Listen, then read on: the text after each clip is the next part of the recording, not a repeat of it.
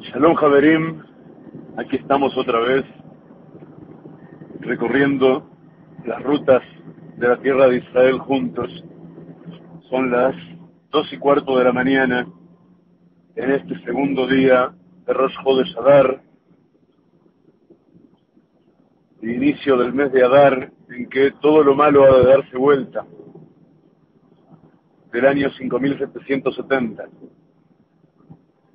me he propuesto aprovechar este viaje que me lleva nuevamente con alegría, subiendo desde el Galil rumbo a Jerusalén, cruzando el país de norte a sur, para compartir con vosotros algo de lo que hemos estado estudiando el último par de días.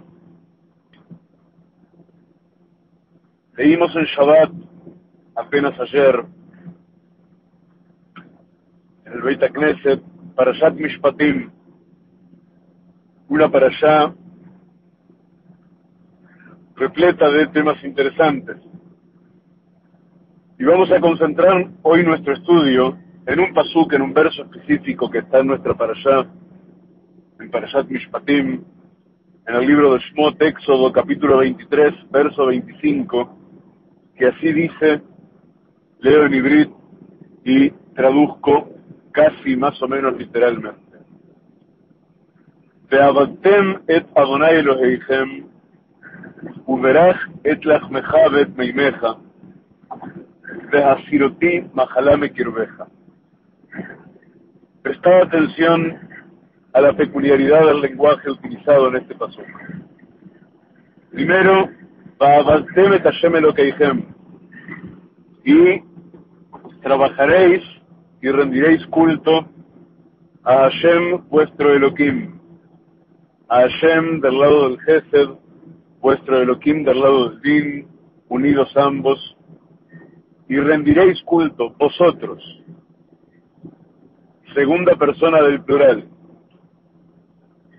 Uberach et et meimeja. Y bendecirá él a tu pan y a tus aguas. En segunda persona del singular. Vahasiroti Mahalame Kirbeja. Uberaj, y él, y él bendecirá, estaba dicho en tercera persona del singular, ¿verdad? Etlachmejabet meimeja, tu pan y tu agua, se refiere a ti, a la segunda persona del singular, pero quien bendecirá es él, tercera persona. Y aquí nos mudamos, Kirbeja, y yo extirparé la enfermedad de dentro de ti. Lo digo todo de corrido para que sea más claro. Y rendiréis culto a Hashem vuestro Elohim.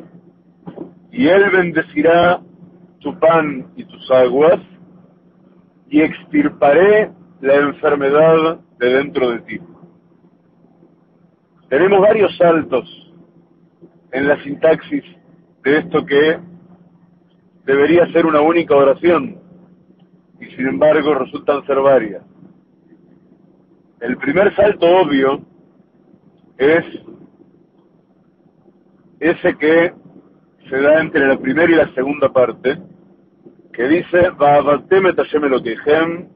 y rendiréis culto a Hashem vuestro Elohim, vosotros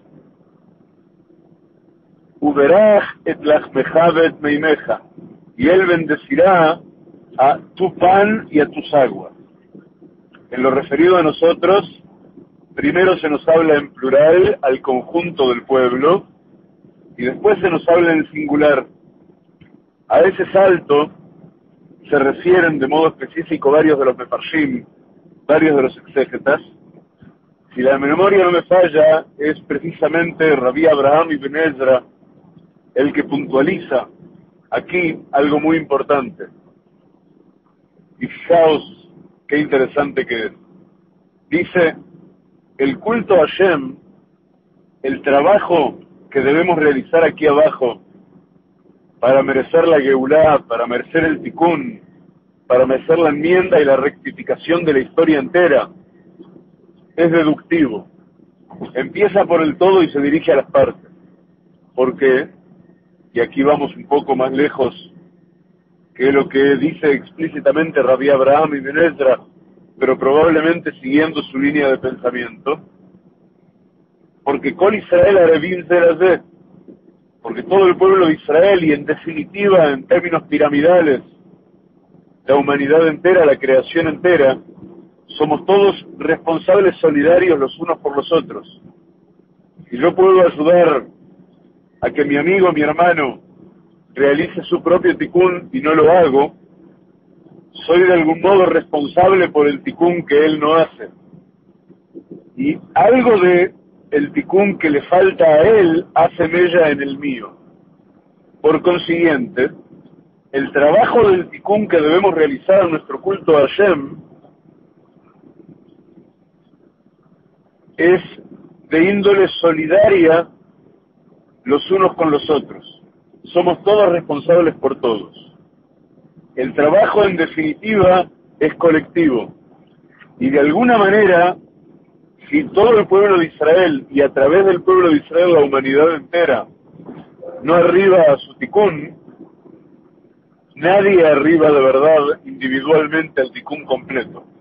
Es un tema sobre el que hemos estudiado mucho nosotros juntos en los últimos años, explicando la diferencia entre la ley de la Torá, la ley verdadera que Hashem legó al pueblo, y las ilusiones idólatras, sobre todo de las religiones extremo orientales, que crean en una suerte de redención individual, en la cual el individuo se desconecta no solo de todo lo que lo rodea, sino incluso de su propio cuerpo, y manda al alma a redimirse sola en lo alto, como si para nada hubiera sido enviada esa alma a trabajar a este mundo.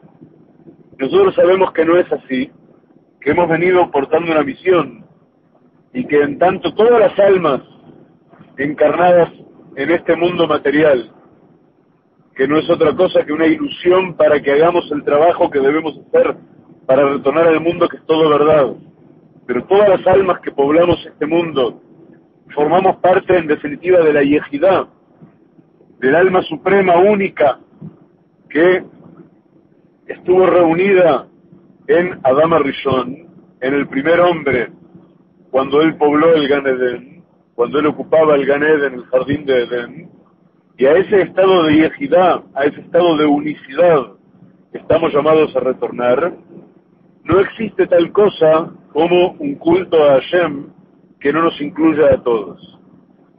Entonces, en la primera de las tres partes de nuestro verso, que va a resultar muy claro a la postre, se nos dice, lo que Vosotros, todos vosotros, rendiréis culto a Hashem lo que Y esto es condición para lo que sigue.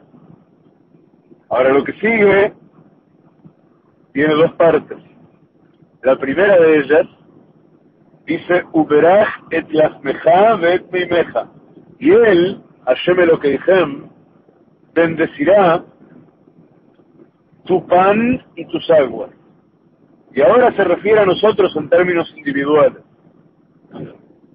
Rabbi Abraham y Benezra dice aquí que el salto tiene que ver con que la acción de comer el alimento es una acción privada. Se da dentro del hogar, se da dentro de la familia. Se da en términos de que el trabajo de alimentarse es también en sí mismo un trabajo sagrado, es una cuestión sagrada y de uso, de uso no tiene que ver con banquetes públicos, no tiene que ver con algo que se comparte de modo público, sino específicamente como una actividad privada intuyo personalmente, con mucha humildad, que Rabí Abraham y Menezra está pensando en algo a lo que vamos a aludir más ampliamente luego, pero que vamos a mencionar ahora, porque es de mención obligada aquí. Y es que aquello que ya hemos mencionado en nuestro ciclo de Ezer Kenegdo, y lo hemos estudiado vastamente, de hecho de que muchas veces cuando la Torah habla del pan, del pan del hombre, la Torah se refiere a la mujer del hombre. A partir de ese Rashi en el cual se habla de que Yosef se niega a dejarse seducir por la mujer de Potifar, por la mujer de su amo, y le explica a la mujer, no es que tú no seas hermosa, no es que tú no me seduzcas, no es que tú no me intereses, es que mi amo ha puesto en, en mis manos todo lo que le pertenece, salvo el pan que él come. Y explica allí Rashi que el sentido literal, el primer sentido, la primera acepción en definitiva de aquello que está diciendo Yosef, es que el pan que él come es la mujer que es de él y que es solo de él.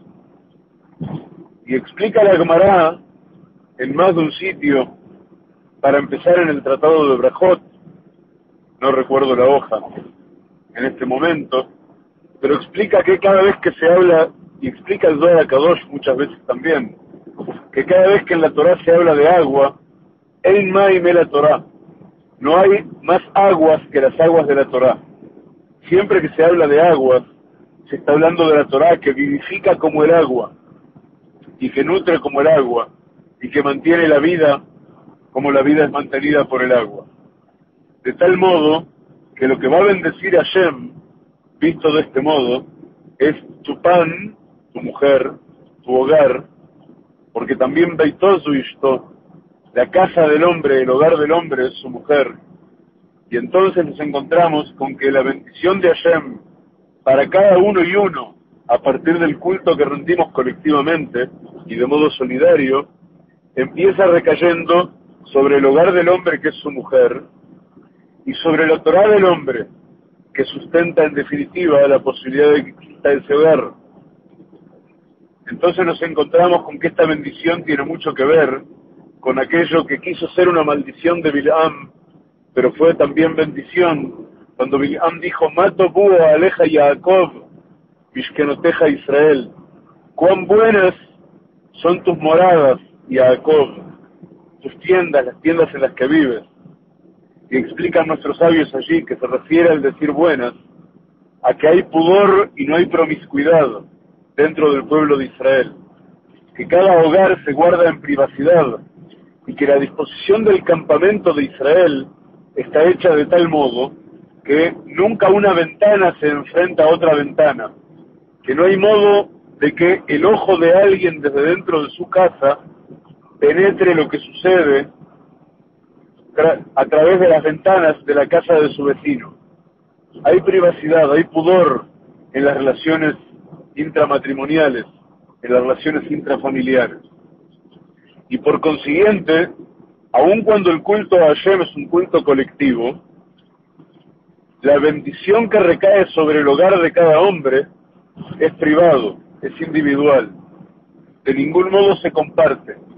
Esa bendición va al pan de cada uno y a las aguas de cada quien.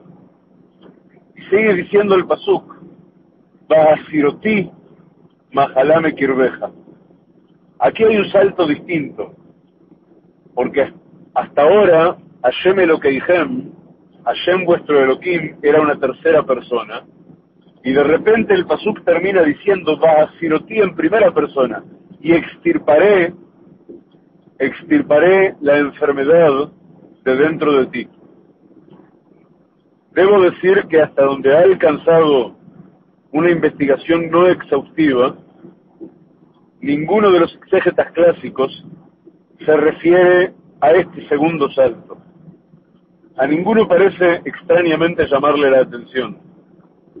Eh, no, no acierto a recordar en este instante, y no tuve tiempo de revisarlo, si el Zohar Kadosh, que es muy pero muy extenso en Parashat Mishpatim, y desde Hashem parte de él, aún vamos a estudiarlo en el correr del próximo par de días, parte de él que se encuentra en el Raya Menimna, en la conversación entre Moshe Rabbeinu, el alma de Moshe Rabbeinu que se revela a Rabbi Shimon Bar Yochai, después del extenso capítulo dedicado al Saba, al anciano, que es el alma de Eliyahu Anabí, que se revela también a Rabbi Shimon Bar Yochai en Parshat Mishpatim, y el alma de Moshe Rabbeinu viene a acompañar a Rabbi Shimon en varias revelaciones que tienen que ver con la Geulá que Bezrat Hashem tiene que comenzar en este mes de Nisan. Es cierto para los memoriosos que lo mismo dijimos el año pasado con Pirkat Hamá, pero desde el momento que sabemos que tiene que ser el mes de Nisan, pues bien debemos ser propicio que sea este si no fue el pasado. Bezrat Hashem, las señales se hacen más urgentes a cada, a cada mes de Nisan que transcurre. De modo que vamos a intentar aún compartirlo de Hashem en los próximos días. Pero no recuerdo realmente en este instante si el Zohar Kadosh sí entra en este salto, sospecho que no.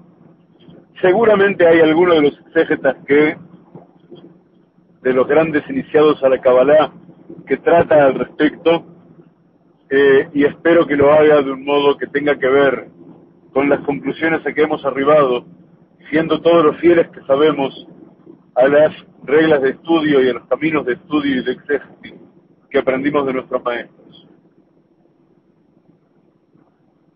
El secreto de este salto lo vamos a dejar para Bezrat Hashem, el postre, para el final de este estudio, en que va a ser más comprensible Bezrat Hashem.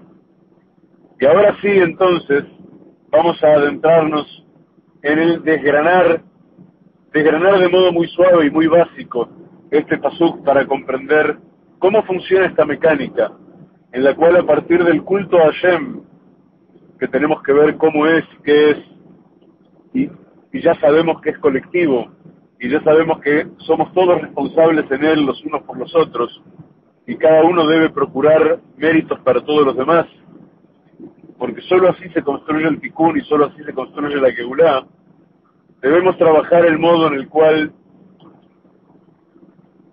debemos comprender el modo en el cual ese culto a Hashem, ese trabajo colectivo, produce la bendición sobre cada uno y uno, sobre cada mesa y mesa, sobre cada hogar y hogar. Y a continuación, algo tan maravilloso como Behasiroti Mahalame Kirbeja, que es medicina preventiva. Extirparé la enfermedad de dentro de ti. Y empecemos despacito por entender que es de Abaltemet Hashem dijeron. Y rendiréis culto a Hashem vuestro Elohim. De Abaltemet Hashem dijeron tiene valor numérico 1055. Y hay un único pasuk, un único verso en todo el Tanaj, que entero tiene ese mismo valor, de modo que algo debe tener que ver. Y se encuentra en el libro de Mijá, en el libro de Miqueas. Les pido disculpas, voy a apagar la luz un instante porque creo que es ilegal manejar con esta luz encendida en medio de la noche y por donde estamos a punto de pasar hay riesgo de que haya un puesto de policía, es solo un instante. Pero decimos entonces que hay un pasuk, un verso en el libro de Mijá, de Miqueas, que tiene el mismo valor numérico que Beabateme Tayeme lo que ya pasamos el lugar, se encuentra en el capítulo 2, verso 5, y dice así, Lo y eleja, no habrá para ti, Mashlich Hebel Begoral Bekehal Hashem.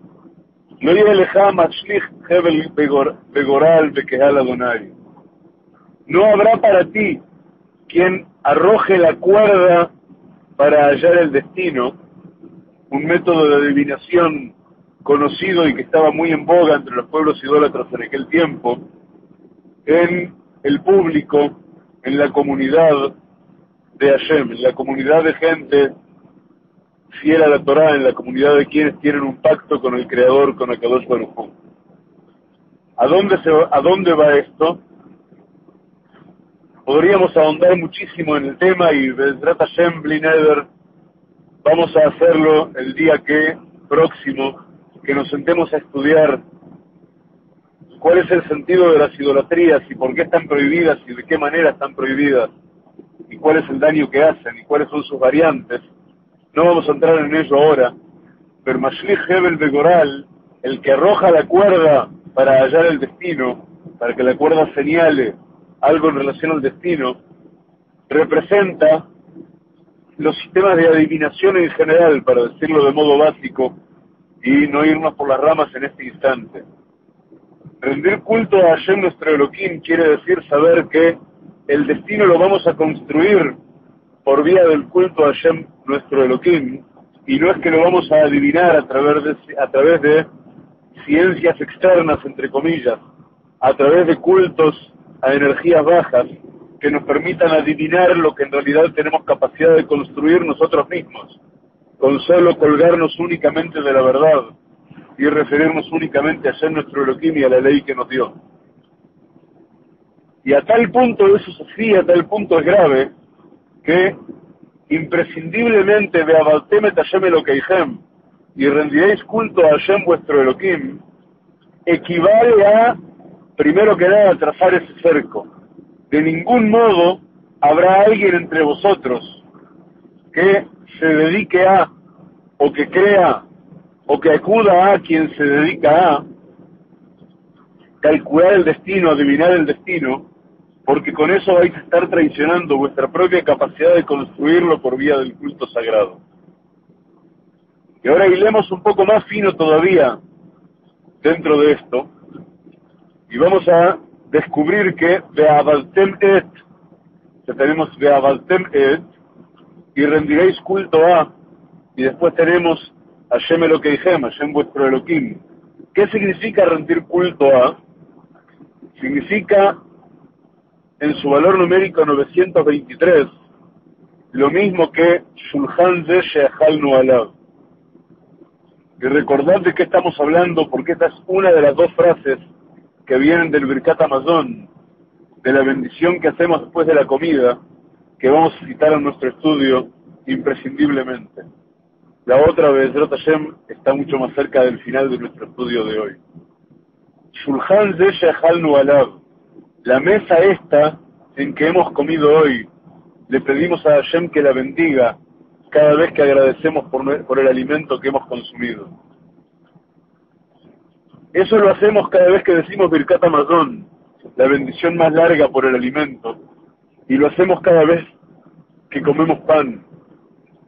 Y otra vez vamos a pegar un salto semántico muy grande, porque otra vez, Lachmodo Ishto, el pan del hombre es su mujer, y de alguna manera estamos agradeciendo por nuestro hogar, y cuando agradecemos la mesa y pedimos la bendición de la mesa, estamos pidiendo la bendición al hogar en que nos unimos a nuestra mujer, eso en el caso del hombre, claro. En el caso de la mujer también lo mismo, pero mucho más en primera persona y mucho más en términos de que ella es la que edifica a su marido este, esto no hay en esto y, suplico que nadie vea en esto este, ni por asomo una gota de eso que en Occidente se conoce por machismo. Esto no está a años luz de nada parecido a machismo. Esto tiene que ver con la dialéctica de la edificación en el hogar.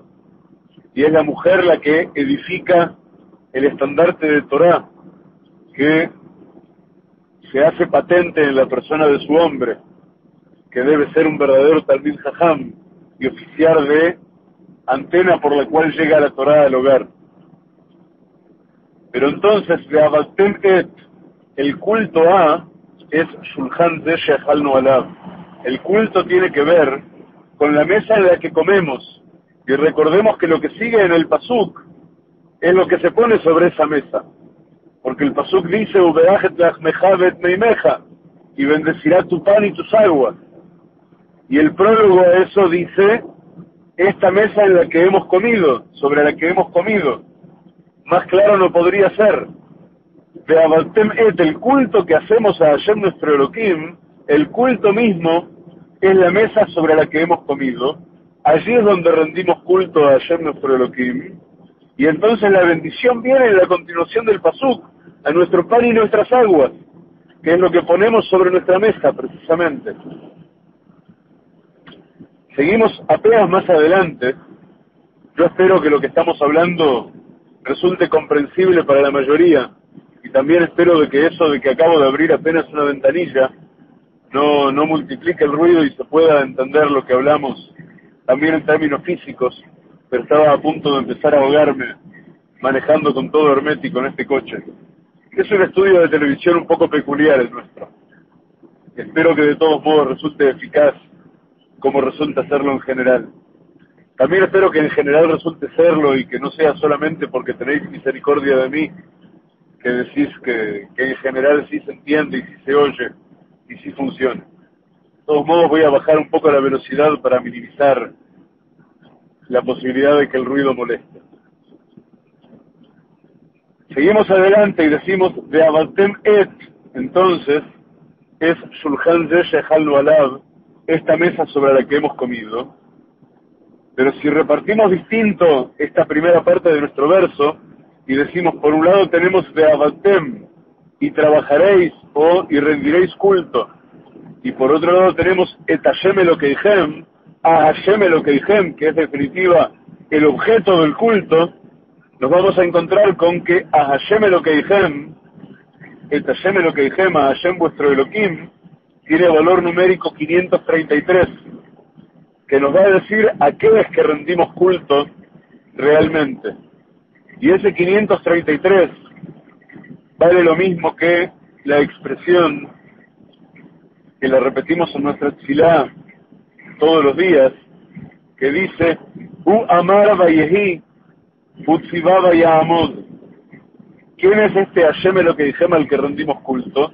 Es aquel que Hu Amar Vayehi, él dijo y fue, Utsibaba Amod, él ordenó y se irguió.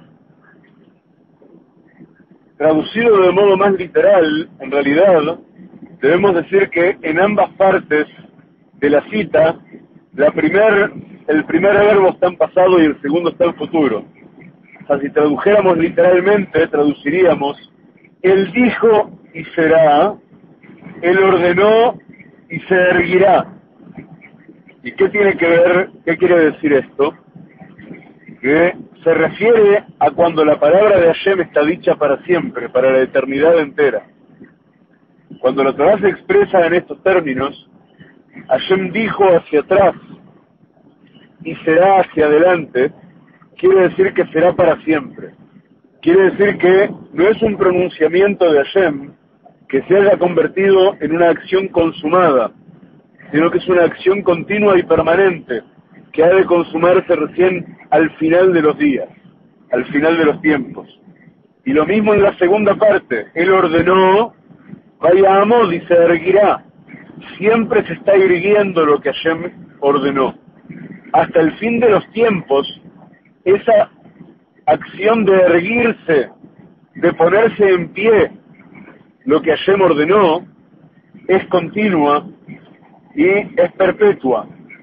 Es una mitzvah, porque Tzivá ordenó, es la raíz de mitzvah, de lo que llamamos precepto, es algo perpetuo, continuo, que pesa sobre nosotros a cada instante y todo el tiempo, hasta el final de los tiempos de Hashem. Eso es rendir culto a quien, a Hashem lo que dijeron. Esa es la abodá. El complemento, el, el complemento en este predicado, digamos, lo que este Hashem lo que dijeron, a Hashem lo que quiere decir que lo que él pronunció alguna vez es perpetuo y lo que él ordenó alguna vez es para siempre. Ese es el modo en que rendimos culto a Hashem nuestro Elohim. Hay muchas más igualdades para tratar, pero vamos a intentar seguir un hilo temático y seguramente con el resto de las igualdades nos, nos vamos a encontrar en el futuro. Hay muchas más que son relevantes, de hecho hay otras que no son relevantes a nuestro estudio. Las que son relevantes a nuestro estudio, como siempre, van a aparecer de De hecho, la mayoría de ellas ya están en el post más nuevo del blog de nuestros borradores para Shiurim. Eh, para quien quiera gozarlo, naturalmente está en hebreo. Eh, y mucho de lo que utilizamos de verdad en el Shiur al final no se encuentra en ese borrador porque lo agregamos a posteriori. Este, si yo les muestro este, los papeles que traemos para, para el Shiur, este, incluyen esos borradores y mucho que vamos, vamos agregando a lápiz sobre la marcha. Cada vez que hacemos una parada en el camino porque nos damos cuenta que hay algo que obviamos y bueno, lo agregamos recién cuando nos volvemos a sentar en una computadora. Tenemos entonces primero una idea básica de qué significa la primera parte de nuestro pasuk. ¿Qué es eso del trabajo colectivo que debemos rendir a Hashem nuestro Elohim? ¿Hasta qué punto ese trabajo tiene que proyectarse primero literalmente en nuestra mesa? Y en nuestra mesa tiene que ver con, dijimos, con la mesa de verdad, con qué comemos, cómo lo comemos, el modo en que bendecimos a Hashem por lo que comemos antes y después, la cayó de lo que comemos y todo lo demás, y también tiene que ver con el modo en que existe, el modo en que vive nuestro hogar, la estructura de nuestro hogar, porque ese es el shulchan. El shulchan, la mesa, esa mesa que es, que, de paso tiene, tiene valor numérico, tiene valor numérico 388, que es el valor de Shalom B, Shalom hay en mí, eh, y, no es casual. El, el shulchan verdadero, la verdadera mesa, tiene que ver con conseguir que haya en mí Shalom, y, el shalom solo puede haberlo en mí cuando de verdad estamos hablando de, un hogar completo, de un hogar que funciona del, del modo perfecto que la Torah enseña, para que haya armonía en el hogar, para que haya armonía en la pareja, para que haya armonía entre padres e hijos, para que no haya modo alguno en que haya violencia, en que haya desentendimiento, para que de verdad el hogar irradie luz. La mesa esta sobre la que hemos comido cada día, todos juntos, los integrantes del hogar, los que tienen sus sillas puestas alrededor de la mesa para compartir la mesa todo el tiempo. Y acá no tengo más remedio, ya que estamos entre paréntesis, que citar a mi bien amada madre y maestra, que en su trabajo de enseñar la buena gastronomía durante los últimos más de 20 años, y en realidad durante toda la vida, en su carácter de Iris Mame, que nos educó a mí, a mis hermanas y a mis hijos por todos estos años, nos enseñó la belleza del slow food, de la comida lenta, por oposición al fast food, de locura de Occidente, de la comida rápida y de parados e impersonal y toda idéntica.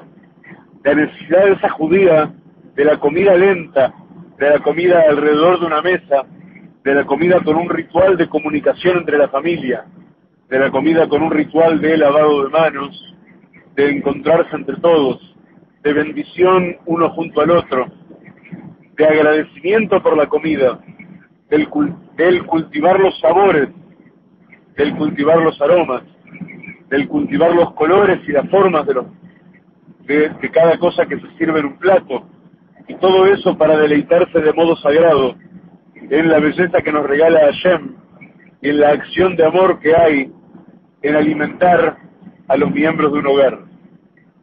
Aquí públicamente, gracias mamá por ese regalo que nos diste toda la vida y que nos sigues dando cada vez que tenemos la fortuna de reunirnos a compartirlo.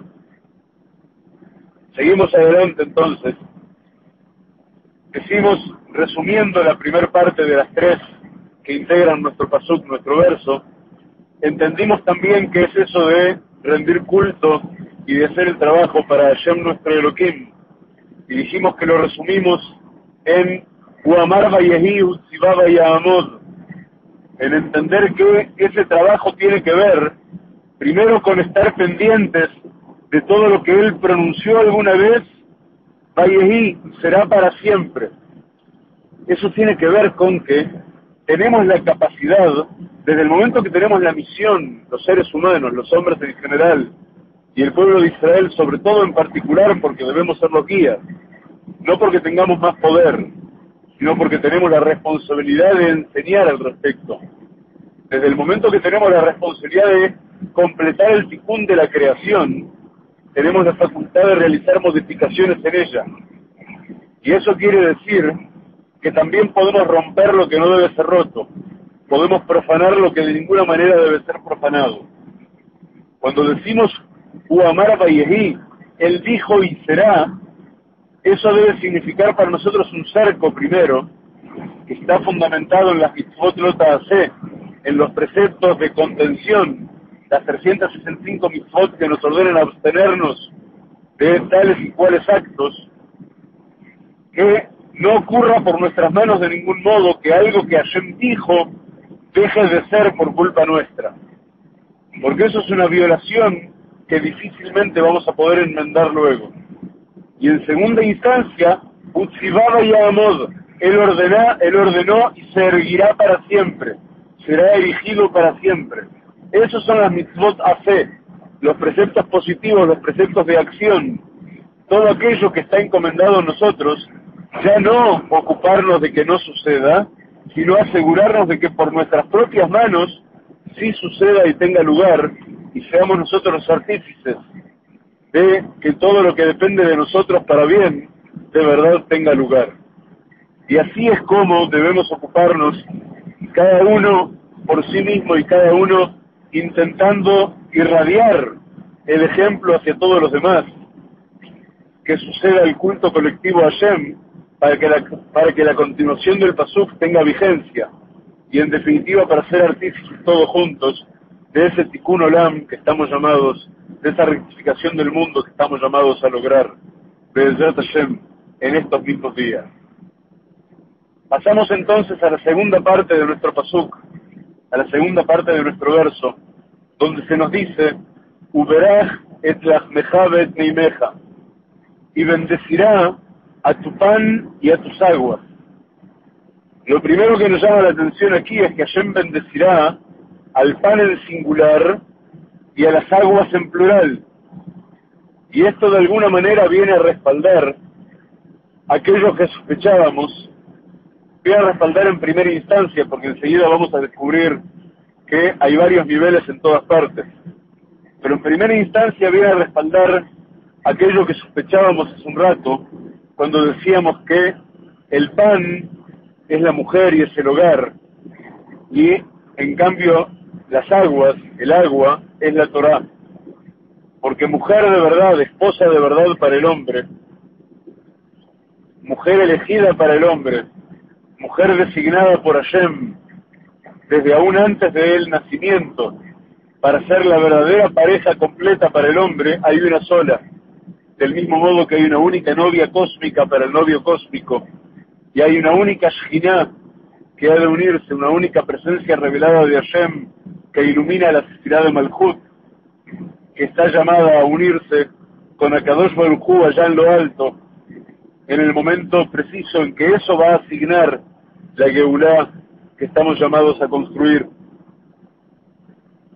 Entonces, la Ajmejá, tu pan, es uno solo, es en singular, y da igual cuántas veces haya de haberse casado un hombre, o cuántas veces haya creído encontrar a la mujer de su vida, y lo mismo en la recíproca, hay un único caso, con ayuda de Hashem, en que se van a haber hallado esas dos almas que están designadas desde el principio de los tiempos para completar el ticún juntas y oficiar la unión verdadera.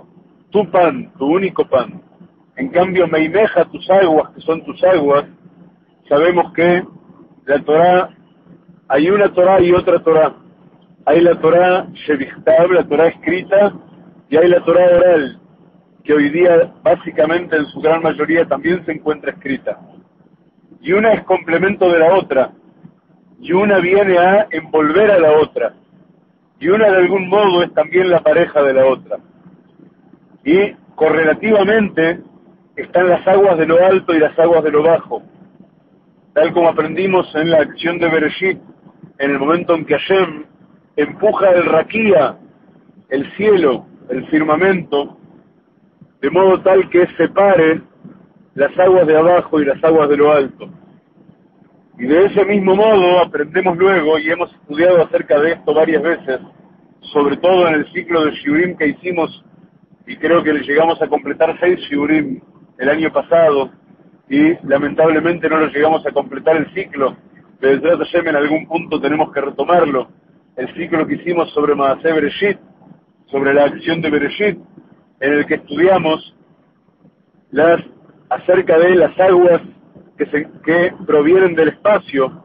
Esto lo hablamos también en aquella conferencia que hemos, en que nos hemos citado nosotros mismos tantas veces y que hicimos, si la memoria no me falla, en Lleida, tan grato que fue en la Fundación de Cultura Catalana, con nuestro amigo Mario Sabán y con la profesora Rosana, en la que hablamos de cómo los científicos de hoy día ya han entendido que la mayor parte del agua que llueve cada día en el planeta, sobre el planeta, no proviene de aquella hipótesis del ecosistema cerrado que nos vendíamos, que nos vendían cuando íbamos a la escuela, sino que la inmensa mayoría del agua que llueve cada día sobre el planeta proviene de aguas que nunca antes habían entrado a la atmósfera y que entran a la atmósfera cada día a modo de gigantescos meteoritos compuestos de hielo y polvo.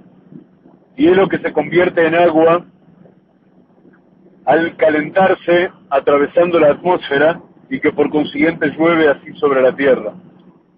Entonces están esas aguas de lo alto que llegan al ecosistema terrestre y están las Meitehom, las aguas abismales que provienen de las profundidades de la tierra y también emergen en manantiales o desde ríos subterráneos.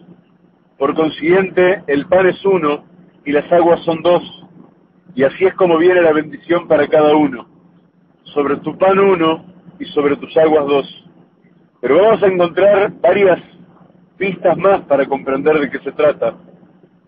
Porque cuando hay bendición sobre el pan, que es el hogar y es la mujer, y hay bendición sobre las aguas, que son las dos formas de la Torah en las que el hombre debe lograr llegar a la conciencia natural, lograr que su conciencia interior haya adoptado la forma de ambos niveles de la Torah, entonces vamos a llegar a Uberajet Lachmejavet Mimeja y Él bendijo o Él bendecirá a tu pan y a tus aguas en su valor numérico 1254, igual a aquello que se ordena al rey Shlomo, aquello que ordena Hashem para la construcción del Beit HaMikdash y que se cumple en el momento en que Shlomo el rey Salomón construye el Beit HaMikdash y dice así el Tanaj, dice así el libro de Melachim, Kol Kli Barzel lo nishma. Ninguna herramienta de hierro se escuchó en la casa. Ninguna herramienta de hierro se oía en la casa porque estaba prohibido radicalmente utilizar el hierro en la construcción del hogar, de ese hogar en que se reúnen la Shina y Hashem, el más alto de los novios con la más alta de las novias. Y está prohibido utilizar el hierro en la construcción del Beit HaMikdash precisamente porque el hierro se utiliza para fabricar armas, el hierro se utiliza para la guerra.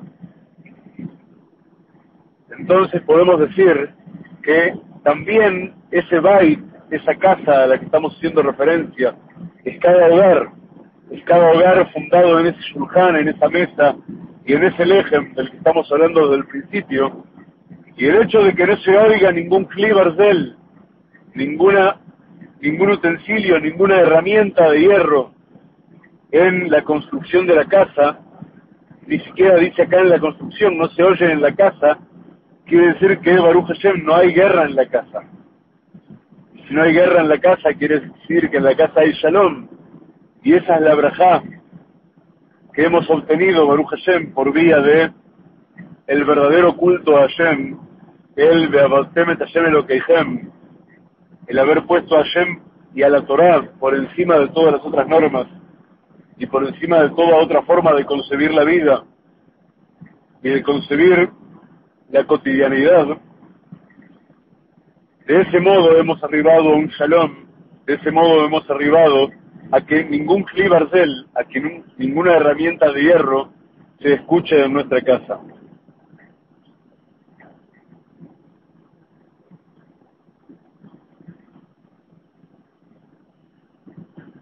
Seguimos algo más adelante, disculpen, estoy revisando, estoy revisando el camino, pero bueno, ya entendemos entonces que Uberajet la Meimeja y bendecirá a tu pan y a tus aguas tiene que ver con Shalom Bayit, tiene que ver con la paz verdadera en el hogar. Y por allí es que empieza de verdad la bendición. Ahora dijimos que vamos a descubrir, si profundizamos algo y desgranamos un poco más esta bendición, vamos a descubrir que en todas partes hay más de un nivel. Porque lo primero que va a bendecir es Etlachmeja, tu pan.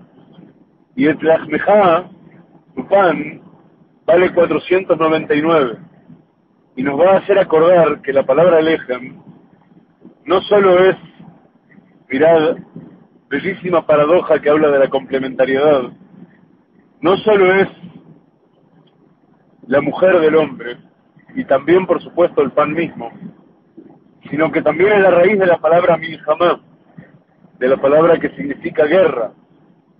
Y eso hay que entenderlo y hemos hablado de ello largamente ya y lo vamos a profundizar mucho más todavía en la continuación del ciclo Ezer Kenegdove de Hashem, de modo que no vamos a profundizar en ello especialmente ahora, pero vamos a decir solamente que hay una trilogía aquí que se asocia en una complementariedad maravillosa y que toda, toda ella gira alrededor del lejem y que tiene que ver con el pan que se come, con la mujer por cuyo mérito y por el mérito de la unión con quien el hogar llega a tener de verdad ese pan, el pan de abajo y el pan de arriba, y de la unión de todo ello sale la capacidad de enfrentar y triunfar en las guerras que uno no tiene más remedio que pelear en este mundo. Y son tres círculos concéntricos que debemos estudiar en profundidad de Hashem.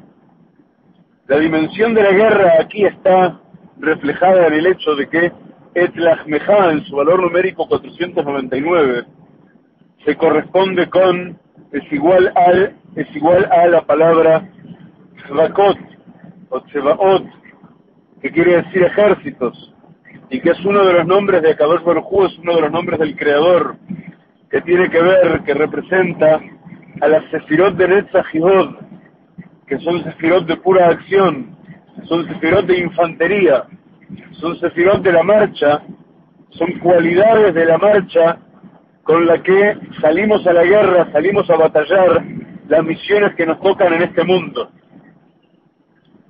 Y a partir de ello, entonces encontramos que la bendición sobre el pan tiene que ver también con las batallas que debemos desarrollar en este mundo. Y eso se entiende de modo mucho más claro todavía a la luz de lo que ya comprendimos. Dice alguno de, de los exégetas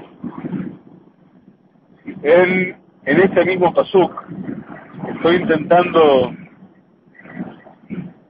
estoy intentando recordar quién es.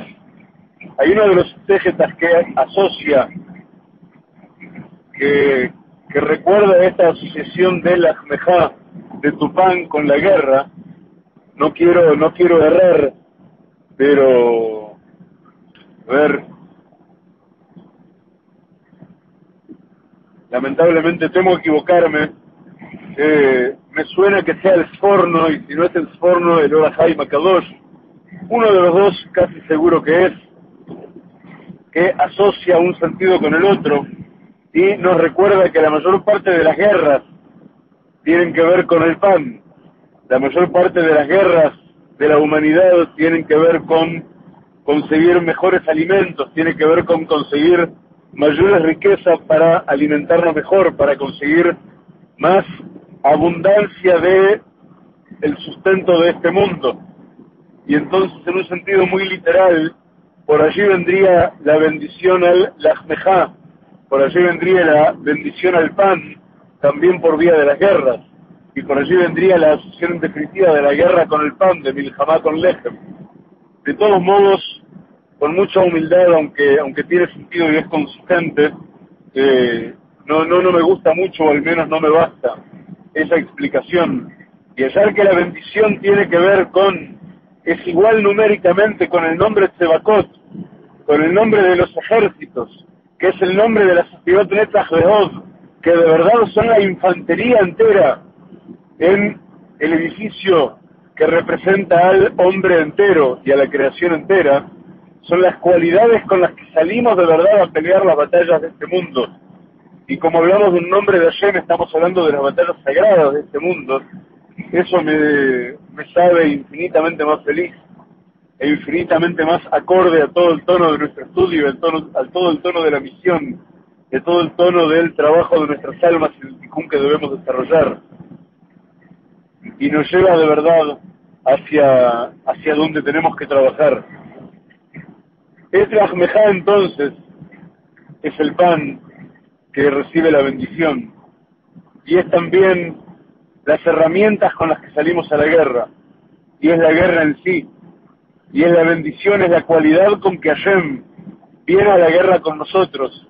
Y Hashem mismo se convierte en la infantería, esa infantería maravillosa con la que salimos a la guerra, pero de verdad la guerra la gana Kadosh Baruj y no nos sorprende y Moshe levanta sus manos y nuestra infantería gana la guerra. Y cuando las manos de Moshe caen, la infantería deja de ganar la guerra. Pero cuando las manos de Moshe están en alto, la guerra se gana sin ningún muerto, sin ningún herido, de Jalila. De nuestra parte, estamos ahí solamente haciendo la macacada del caso, haciendo los gestos como si fuéramos nosotros los que estamos luchando al estilo de como yo hago, como si fuera yo que manejo, aunque en realidad estoy conversando con ustedes.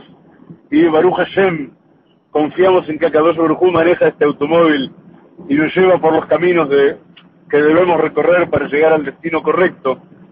Porque si dependiéramos de que yo maneje al mismo tiempo que estamos estudiando Torah, estaríamos medio perdidos. Entonces, las guerras las gana Akadosh Baruj no las ganamos nosotros. Y dicho entre paréntesis, esto debería enseñarnos algo en relación con la mala suerte, entre comillas, que hemos tenido en el Estado de Israel en las últimas guerras, el mal papel que hemos desarrollado, y ya hemos hablado demasiado acerca de eso como para abundar mucho ahora, pero hay un ticún tan grande que tenemos la obligación de comprender y adoptar para convertir el ejército de Israel nuevamente en un ejército sagrado, en un ejército capaz de estando todo él hermanado, rindiendo culto a Hashem en conjunto, estando unido en la misma ideología y en el mismo sueño, ser capaz de ganar todas las guerras con bendición de Hashem y no representar los papeles mediocres y tristes que hemos representado en los últimos conflictos bélicos, a que nos hemos visto llevados a la fuerza encima. Desde Hashem, acá estamos viendo todos los secretos en que nos tenemos que encontrar para que todo ello sea verdad y se cumpla sin más falencias. Es la entonces. Tenemos la bendición desde el Shalom Bait, tenemos la bendición entonces sobre nuestro alimento, sobre nuestro sustento, que es nuestra economía, y también sobre nuestro hogar, que son nuestras mujeres y es nuestra pareja, y también sobre las guerras, que son las guerras sagradas, que libra Hashem por nosotros aún en la forma de conducir nuestros automóviles. Que así siga sucediendo. Pero también por si nos faltaba otra insinuación para comprender que estamos hablando de nuestras mujeres, de nuestra novia, de nuestra amada y de la Shejina, de la amada de Kodosh Baruj 499, además de valer lo mismo que Tzebakot, que el nombre de Hashem, también vale lo mismo que la expresión que aparece en, el profeta, que dice, Kumi Roni Balaila. Kumi, levántate, y se refiere a la Shina, se refiere a la presencia revelada de Hashem, se refiere a la Malhut que está a oscuras y que de repente es llamada a levantarse, a incorporarse y salir a caminar con alegría hacia Kadosh Barujú, porque ha llegado el momento de unirse, porque ha llegado el momento de la Geulá, porque ha llegado el momento de los esponsales sagrados y definitivos entre la creación y, sus criaturas, entre toda la creación, perdón, entre el creador y sus criaturas, entre toda la creación y Akadosh Barujú. Y dice, Kumi Roni Balaila, levántate y alégrate y celebra en medio de la noche, en medio de la oscuridad, levántate igual y pon tu alegría y celebra y entonces con ellos se abrirán todas las puertas que hacen falta para que llegues realmente a donde hay que llegar, para que te unas con el Creador que te está esperando de brazos abiertos, para que llegues a tu novio celestial. Valga esto para la Shejinah, valga esto para todas las novias, valga esto para el pueblo de Israel en relación al Creador, valga esto para todo aquel que está anhelando ser capaz de una teshuvah completa y está buscando cómo llegar entonces en su papel, que en este caso es pasivo, receptor, es el rol femenino, digamos, en la relación biunívoca, está pidiendo ser abrazado por Akadosh Barujú. Y entonces, Kumi Roniba Laila, eso también es la bendición sobre el pan que viene a colación, viene como consecuencia bendita del trabajo colectivo, del culto colectivo a Hashem. Ese es el modo de atraer y de abrir las puertas a todos los Baalei Chubá, a todos los que intentan hacerte Chubá, retornar, y también a todos aquellos que no son conocidos en general con el nombre de Baalei Chubá, pero que son Baalei Chubá maravillosos, que son, por ejemplo, los Bnei Anusim, los descendientes de los Anusim de Sefarad de tantos años atrás, que piden retornar al pacto de la Torá, vaya Teshuvah maravillosa, vaya retorno maravilloso de ellos que debemos habilitar, y que es el de los Bnei Noah, el de quienes provienen de aquellos que poseen almas que no se sienten a gusto, mezcladas en la idolatría y piden volver, volver a salir de la idolatría y a desempeñar, aún no siendo parte del pueblo de Israel, un rol sagrado en la Geulá, y ni hablar el papel de los Gerim, vaya, de los conversos, de los que aspiran a, viniendo desde muy lejos, convertirse en parte del pacto de la Torá y el pacto de Israel. Vaya trabajo de Geulá, vaya trabajo de retorno el de ellos. Vaya que hacia ellos está dicho, Pumi Roní Balaila, levántate en medio de la noche oscura que vives y alégrate y celebra y festeja y canta, que Roní tiene que ver con la forma de Renaná, de Riná, que es una de las formas de alegría que tiene que ver básicamente con el canto, con producir la alegría desde el canto hacia Hashem, para que se abran todas las puertas llenas de Gesed, y entonces, y somos nosotros también los responsables de ello, todos tenemos responsabilidad de ello, y entonces podamos recibir a los Gerim con infinito amor y a los Bnei Anusim, y a Filu incluso a los Bnei Noah desde su propio rol también, y ya vamos a hablar enseguida de los Bnei Noah y de su rol milagroso en todo este trabajo del culto a Hashem, unidos todos, para poder recibirlos a todos y así terminar de construir de verdad el Tikkun Olam, la rectificación de la creación y la Geulá completa. Porque después de, perdón, antes de, antes de ningún después, después de las mejadas, perdón, ah no, vamos a seguir con un poco de orden. Lo que pasa es que claro, a veces manejando, el problema de esta luz es que no veo los, no veo qué cuernos, no veo qué cosa pueden llegar a reflejar estos espejos. Este, pero lo que voy a hacer, llegado a este punto, es arrimarme, con vuestro permiso, un minuto a un borde de la carretera, si bien pueda, para reposar un, un instante y poder completar siquiera este capítulo de nuestro estudio sin estar manejando, quedándonos quietos un poco. Y entonces a continuación sí vamos a poder vamos a poder seguir. Pero quiero quiero completar lo que estábamos diciendo. Decíamos et meja.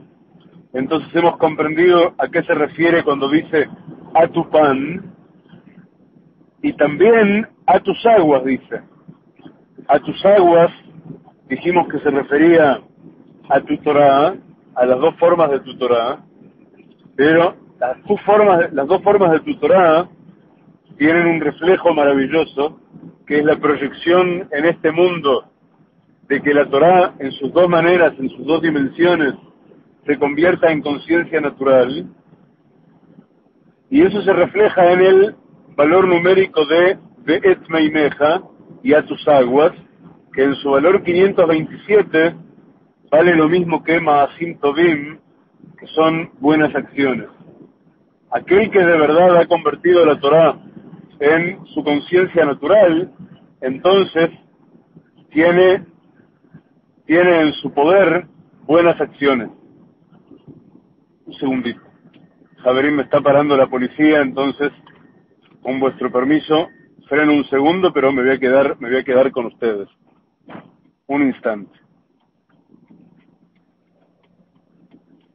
Me quedo con ustedes para testificar de qué estamos hablando.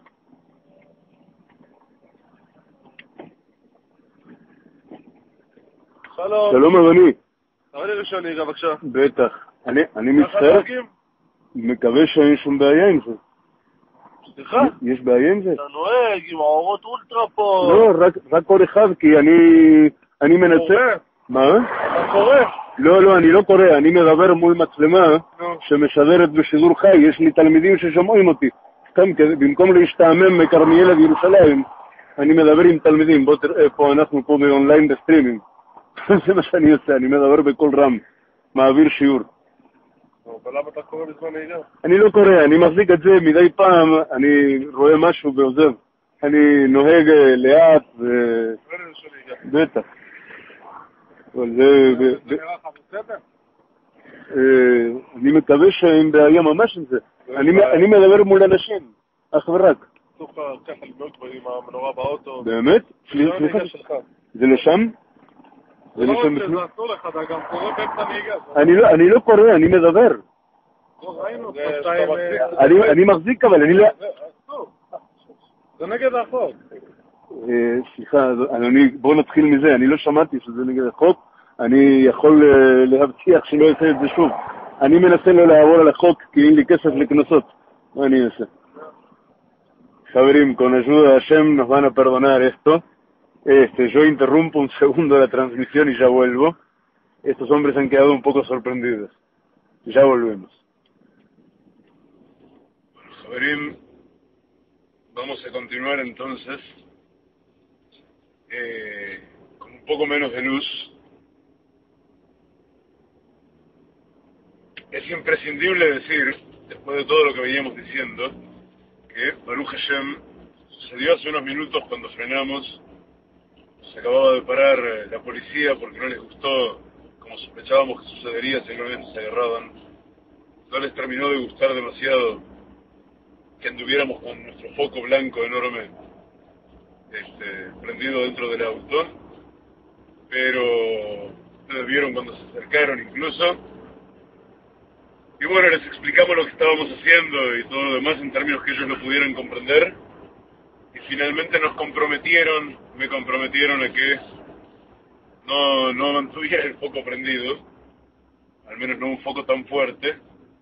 Se asombraron mucho de oír que estábamos compartiendo un estudio de Torah transmitido en vivo mientras andamos manejando. No les expliqué que el que maneja es Kadosh Baruj porque me temí que no iban a poder entenderlo.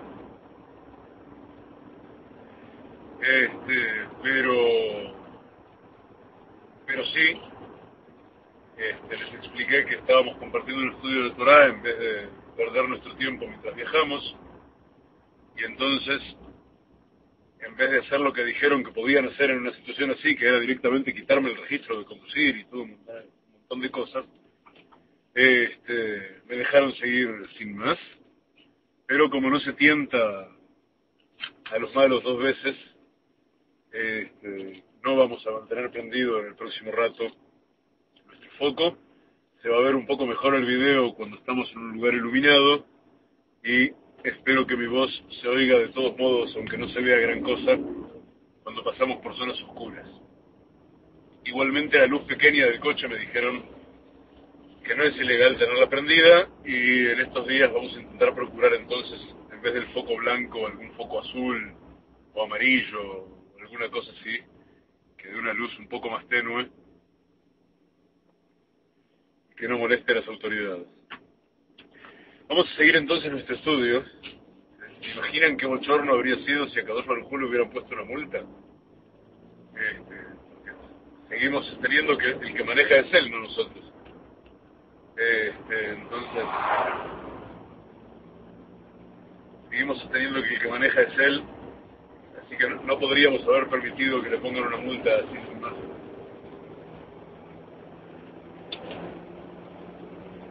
Continuamos entonces nuestro estudio porque estábamos en una parte muy animada.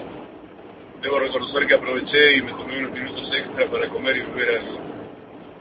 Este, visto y considerando que aquí iban a ser las 4 de la mañana. Bien, cerramos ventanas de vuelta. Muy bien. Estábamos analizando la segunda parte de nuestro pasuk que dice Uberach et lachmecha ve'et meimecha. Que Hashem bendecirá tu pan y tus aguas. Y habíamos visto ya algunos sentidos de los encerrados, algunos secretos de los que encierra esta expresión. Y ahora vamos a cortar distinto la frase y vamos a decir que en realidad no era imprescindible la palabra et las dos veces. Vamos a traducir literalmente lo que está escrito. No dice y bendecirá tu pan y tus aguas, sino que dice y bendecirá a tu pan y a tus aguas. Y de alguna manera no era imprescindible que dijera este et, et, a y a. Entonces, si antes lo cortamos diciendo a tu pan y a tus aguas, ahora vamos a cortar diciendo, vamos a estudiar qué es tu pan, qué son tus aguas y qué es a y a. Que es otro modo de cortar la frase para entender de qué se compone. Y vamos a encontrarnos nuevamente con que todo sigue cerrando con los sentidos que hemos encontrado hasta ahora. Todo es coherente una cosa con la otra en los distintos niveles en que estamos estudiando. La palabra lachmeja, que traducimos por tu pan, ya hemos explicado a qué alude. Ahora si pasamos por un puesto de control de verdad, les pido un minuto, este, porque aquí sí de pronto se enojan hasta por la luz pequeña. Este, un instante nomás, estamos pasando el puesto, está junto a la ciudad de Modín, y ya seguimos. Es inconcebible. Ellos dicen que ellos son los que nos cuidan y resguardan la seguridad, pero parecen estar todos durmiendo. Este, que no sean ellos de quien depende nuestra seguridad. La expresión lajmejá tiene valor numérico 98. Y miren qué maravilla. Porque 98, entre muchas otras cosas, es el valor numérico de dos cosas que nos importan sobremanera. La primera es Gesed Hashem, el Gesed, la piedad que proviene de Hashem. Y la segunda es la palabra Sula, que solemos traducir por potencia.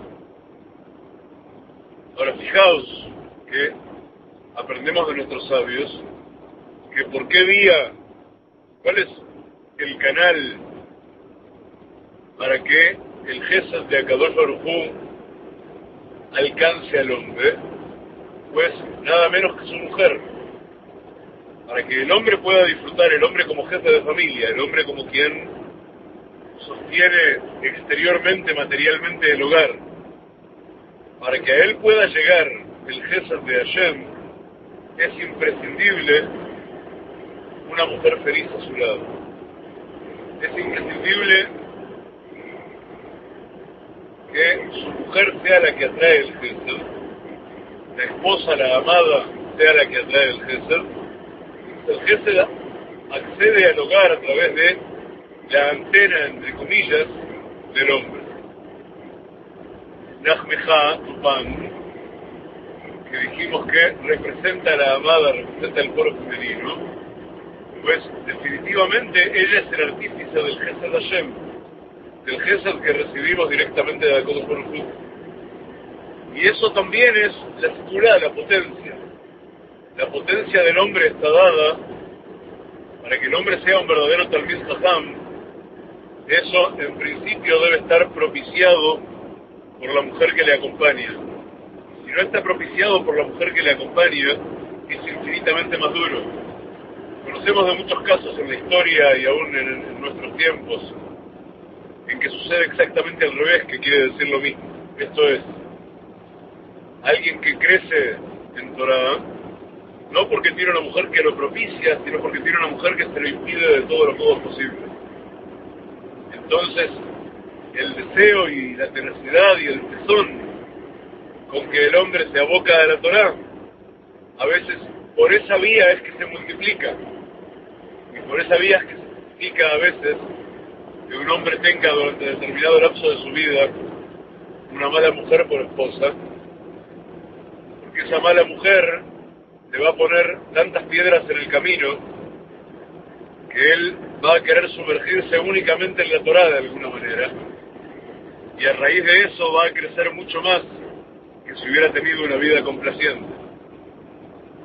Hay, hay casos de sabios muy grandes dentro del pueblo de Israel que han tenido, entre comillas, el tupeo, dijeron los españoles, el morro, pero sagrado, de, de, explicar que incluso a ellos mismos, en algún punto de la vida, tal les ha sucedido. La jmejá, por un lado o por el otro, el pan tuyo, va a ser siempre esa mujer que canaliza hacia ti el Gesed de Hashem y que canaliza hacia ti la potencia que te permite desplegar más y más de lo mejor que puedes llegar a ser. En segundo término dijimos que lo que está bendito por el culto a Hashem, tal como lo explicamos antes, son meimejas, tus aguas. Y explicamos qué significa términos generales, pero mirad, porque aquí nos encontramos con una cifra a la que hemos retornado tantas veces, Faberim, porque la palabra meimeja, que recibe la bendición, y aquí el et venía a significar hacia, y meimeja es el destino final de la bendición. El destino final de la bendición vale 120. 120 es el valor numérico de Sod HaGeulah el secreto de la Geulá. Hemos hablado de esto largamente, porque también es el valor numérico de Eliyahu Anabí. Eliyahu Anabí es el que viene a romper el secreto de la Geulá. Es el que viene a revelar, el primero que se tiene que revelar en su calidad de Mebacer, de anunciador, y por eso nuestra organización se llama Sistema Mebacer, los labios del que anuncia, por Eliyahu Anabí Eliyahu Naví que vale 120, igual que Meimeja, las aguas que reciben bendición, es el que viene a anunciar definitivamente la revelación de la Geulá. El momento ese en que el modo en que se dará la Geulá y la ocasión en que se dará la Geulá deja de ser secreto. Esta soda la Geulá se revela. ¿Y en quién se revela en el otro 120? son Bnei Noah.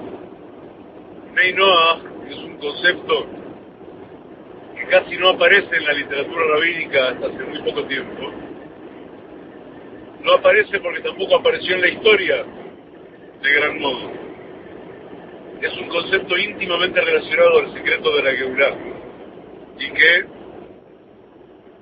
nos hace intensamente felices y nos llena de emoción en nuestros días cuando observamos de qué modo explosivo los Neinoa, los gentiles justos, los no judíos que deciden abandonar la idolatría y sin por ello convertirse en judíos, deciden tomar para sí las siete leyes universales que plantea la Torá y convertirse en pilares verdaderos de la Geulah que estamos construyendo, socios del pueblo de Israel, socios de Kadosh Baruj socios integrantes del pacto de la Torá, en el rol que les fue destinado desde el principio de los tiempos.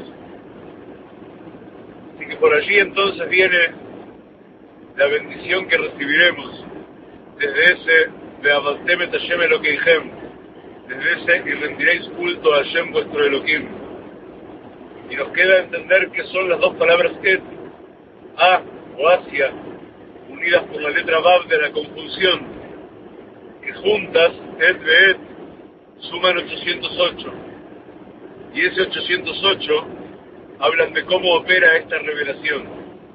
Esta revelación del Gesed Hashem por un lado y de la Segulá, y por otro lado Sodha Geulá, del secreto de la Geulá, por boca de Eliyahu Anabí, por mano de los Neinoa, y 808 es Benigleu Benistar, es tanto de modo revelado como de modo oculto tanto en la Torah revelada como en la Torah oculta.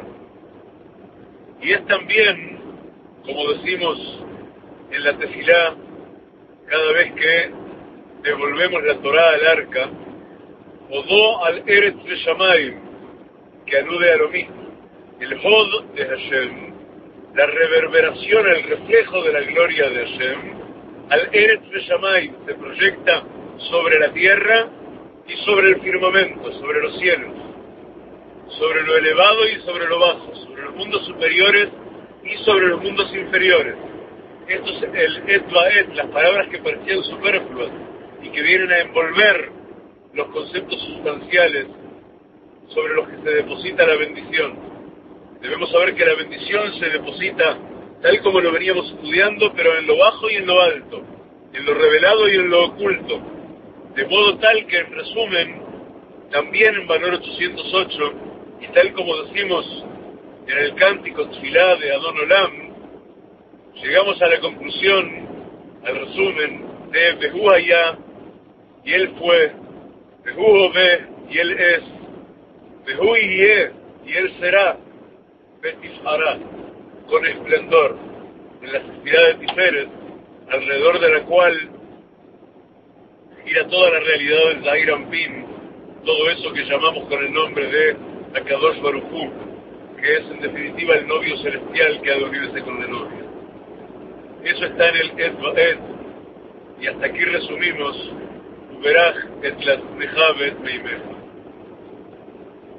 Esa es la primera de las dos bendiciones y es la segunda de las tres partes de nuestro verso.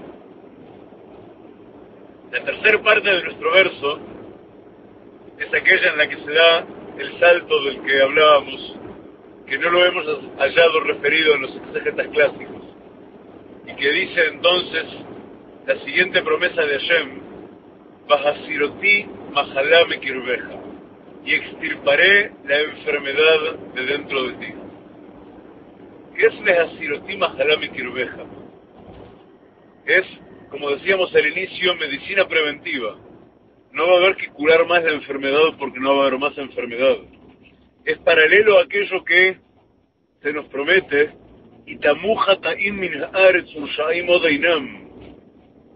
se terminarán los pecados sobre la tierra, de la tierra, y malvados resulta que ya no hay, que genera una gran discusión entre Rabbi Meir y su esposa Bruria, porque Rabbi Meir quiere interpretar que los malvados van a ser exterminados y su esposa Burbia le objeta que de ninguna manera que los malvados van a ser chubá y que por eso es que se van a terminar las maldades y los pecados.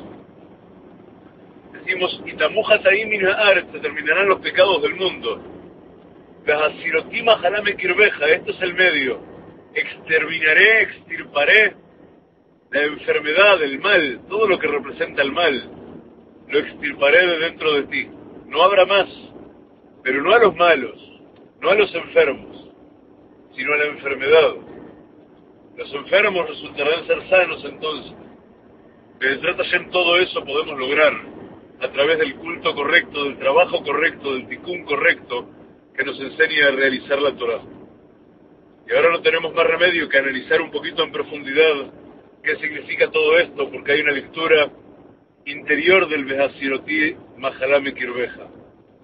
La palabra Behasiroti, en su valor numérico 681, nos remite inmediatamente a dos expresiones que son mutuas causa y efecto. La primera es la expresión con la que comienzan los trece, cada uno de los trece de los principios de fe que repetimos cada día siguiendo al Rambam. Y dice, anima amin be'emunashlema. Yo creo con fe completa. Yo creo con fe completa, anima amin be'emunashlema, equivale, o sea que es intercambiable, por este Behasiroti, por este y extirparé. Es de algún modo la herramienta de esta extirpación de la enfermedad, la herramienta maravillosa de la fe, que Vox Populi mueve montañas y que en realidad es capaz de modificar la naturaleza del mundo y la naturaleza de cada alma, con que solo aprendamos a cultivarla y hacerla crecer. ¿Y en qué se refleja la naturaleza de este anima amin de Munash Lema, de este yo creo con fe completa? Se refleja pues en Metzapim le Yeshua. Esperamos, estamos anhelantes y expectantes de la Yeshua, de la redención, de la verdadera redención, de la redención completa. Cuando yo creo con fe completa, yo estoy realmente expectante de que en cada instante haya Yeshua.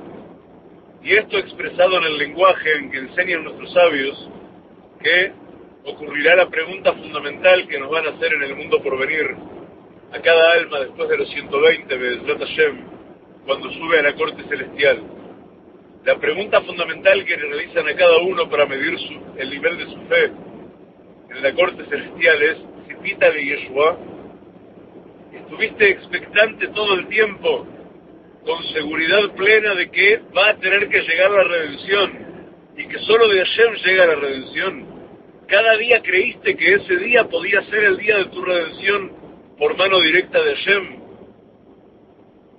Esa es la pregunta fundamental en la corte celestial y la respuesta es, Metzapim le Yeshua, esperamos, estamos expectantes de la Yeshua. Y esa, junto con el Anima Damim Bemunash Lema, son dos modos intercambiables y equivalentes, y que valen lo mismo en términos numéricos, del Behasiroti, del verbo con que Hashem es el que extirpa la enfermedad, pero que Hashem la extirpa por vía de nuestro propio trabajo de fe por vía de nuestro creer con fe completa en todos los principios que hacen a reformular nuestra alma para el ticún completo y verdadero y que se proyectan en saber que cada día puede ser el día de la redención, sabemos merecerla. Y entonces viene Mahalame Kirbeja, la enfermedad de dentro de ti, que eso es lo que promete Shem que extirpará. Y Mahalame Kirbeja viene y explica en su valor numérico 445, explica de qué modo sucederá eso, si de verdad el medio es este completa de la que hablábamos recién. Hashem puede cumplir su promesa de Behasiroti Mahalame Kirbeja de modo literal, por vía de extirpación, por vía violenta, por vía sanguinolenta, por vía terrible, por vía de sufrimiento. Pero también puede ser que el Behasiroti, el verbo de la extirpación, sea el verbo de esa fe que proviene de nosotros, que proviene del despertar nuestro y no del despertar de Él, que ya torna superfluo que Hashem extirpe, porque nuestra fe ha extirpado la enfermedad. Si nuestra fe ha extirpado la enfermedad, es Hashem entonces, si nuestra fe ha abierto los conductos para que Hashem extirpe la enfermedad, dice Hashem en Mahalame Kirbeja, en su valor numérico 445, dice Hashem, Loba Hail, Loba Koach, Kim Berruji, no por medio de la milicia, ni por vía del Koach, por medio de la fuerza, sino por vía del espíritu. Pero saludando otro puesto de, guardias, ahora junto al Keber Shmuel, a donde se encuentra él pulcro de Shmuel Naví, el profeta Samuel. Y ahora volvemos a aprender, aunque sea esta mísera luz que nos han dejado, caramba. Y debo reconocer que, por vía de estar concentrados en nuestro estudio, nos hemos pasado de donde teníamos que doblar, pero no es espantosamente grave. Vamos a doblar en otro lado. Seguimos entonces nos estamos dirigiendo, dicho sea de paso, ahora que son las cuatro y cuarto de la mañana, estamos en el barrio de Ramot, entrando a Jerusalén, Baruch Hashem, las calles están desiertas, y nos estamos, nos estamos dirigiendo, ustedes y yo juntos, a bordo del móvil de la comunidad de Torah, a Mitzvah Yerichó, a la casa de nuestro querido amigo Rav Moshe Stroy, que tanto trabaja en tanto silencio en general por la comunidad de Torah y porque podamos seguir desarrollándonos, podamos seguir haciendo bien a Bnei Nusim, a Bnei Noah, a todos los Yehudim que se acercan a nosotros, y tan dedicado está la mayor parte del tiempo de cada uno de sus días en ayudar a resolver tantos problemas de todos quienes buscan ayuda en nosotros.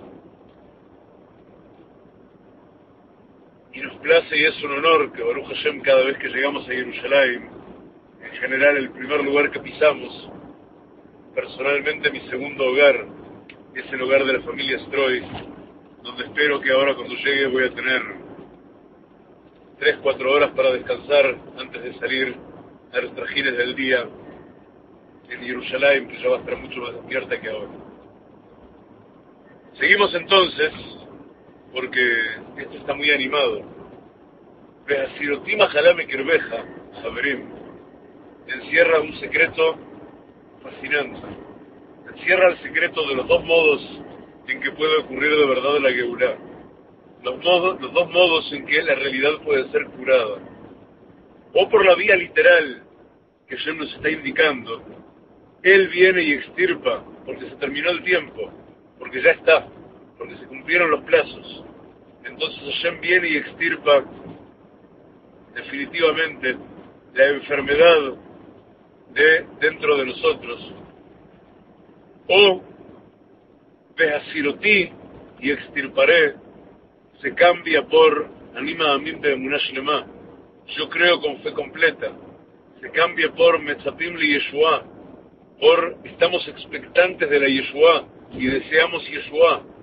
Y entonces, si así sucede, ya no hace falta que Shem venga y extirpe, porque hemos abierto nosotros desde abajo los conductos para que el fluido sagrado llegue desde arriba y atraiga sobre nosotros de verdad, de verdad, la luz que ya es hora de que llegue para completar el tikkun y acercarnos al mundo por venir. Y entonces, Mahalabe Kirbeja, la enfermedad de dentro de ti, también se intercambia. Se cambia por el modo en que de verdad llega la Geula.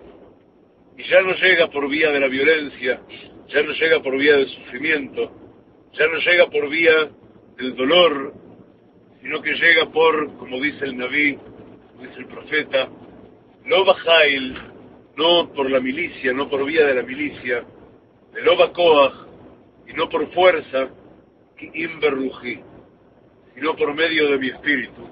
Y así dijo Hashem Zebakot. Yo les prometí una aclaración fundamental al completar el estudio de este pasuk, que me pareció maravilloso. Les prometí contarles el secreto de este último salto, salto sintáctico, al que los exégetas tradicionales en general parecen no referirse, que es ese que lleva a Uberaj, dicho en tercera persona, y él, Hashem, bendecirá tu pan y tus aguas, a la primera persona de y extirparé la enfermedad de dentro de ti. ¿Por qué pasa de la tercera persona a la primera persona?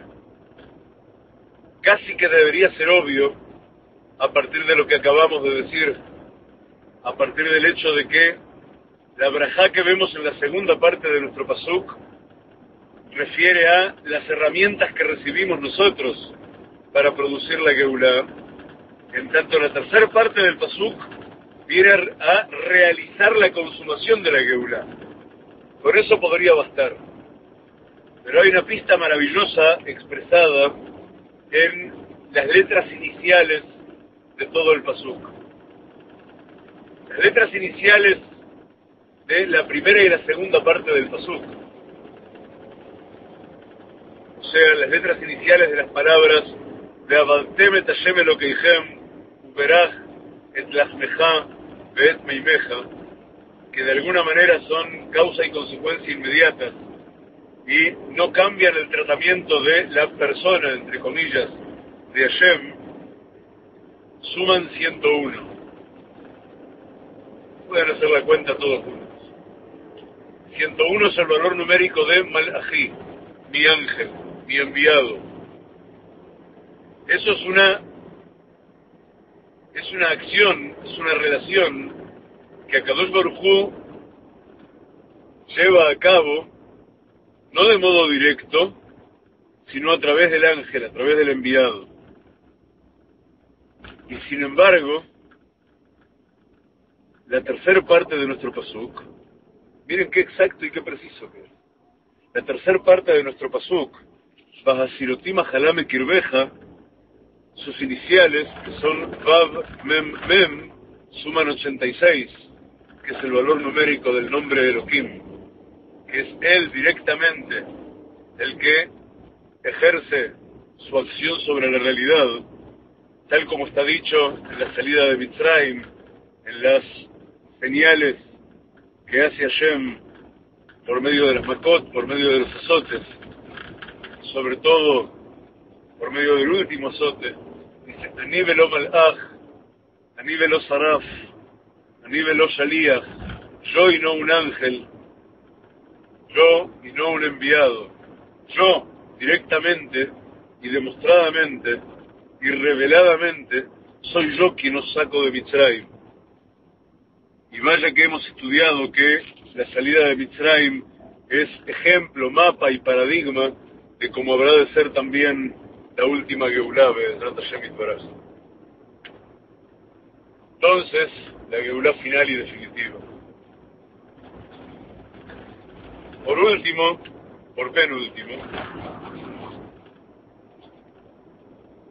vamos a mencionarlo muy muy brevemente, pero sirva solamente como, como preámbulo de un estudio que espero, espero que vamos a poder compartir en los próximos días, de que tiene que ver con el secreto de la electricidad, y tiene que ver con el secreto del tikkun, del, de, como el Baal Shem Tov enseña, el fundador de la Hasidut enseña, que se oficia todo tikkun.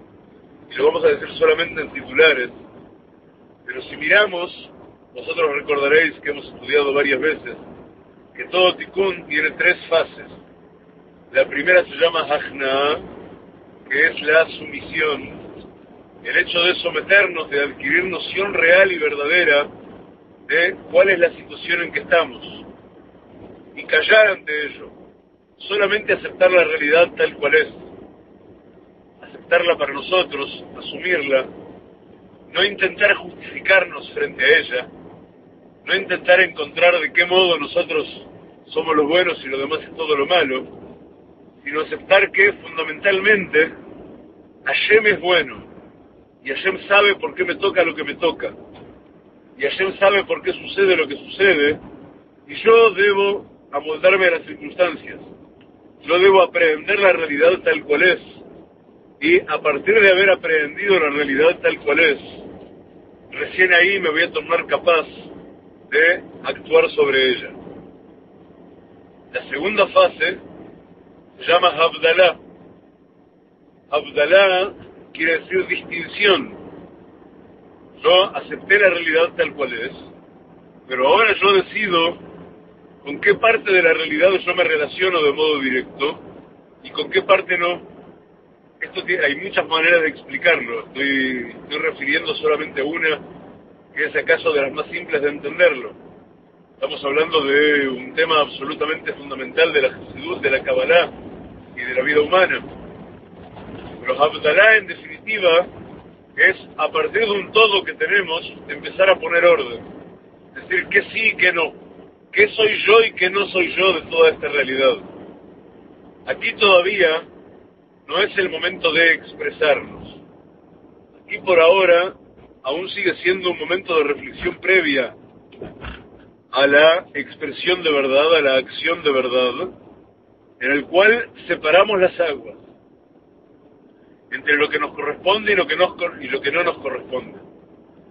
Rabbi Shapira, el Rosh Yeshiva de la, de la Yeshiva Od Yosef en la ciudad de Itzhar, en el Shomrón, un gran discípulo de nuestro maestro Rabbi Tzak Ginsburg, días atrás, cuando la policía, que en medio de la perversión que tiene lugar con frecuencia de parte de las autoridades, fundamentalmente de cuanto está relacionado a la policía y afines en este país, lo tuvieron preso, creo que dos o tres días, cuando lo dejaron ir por falta de, de, toda manera de seguir reteniéndolo, no teniendo culpa alguna de la que inculparlo, y era solamente para poder intimidar,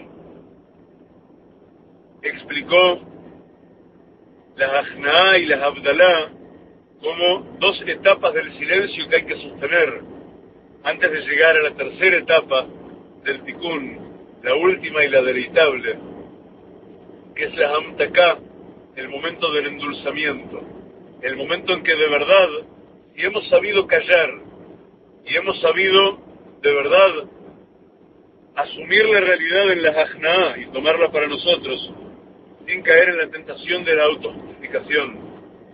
Y hemos sabido distinguir entre lo que nos corresponde y lo que no, entre lo que somos nosotros y lo que no, entre lo que estamos preparados para resultar compatible con nosotros y lo que no. Y por consiguiente de allí vamos a definir el rumbo de nuestra lucha personal dentro de la realidad.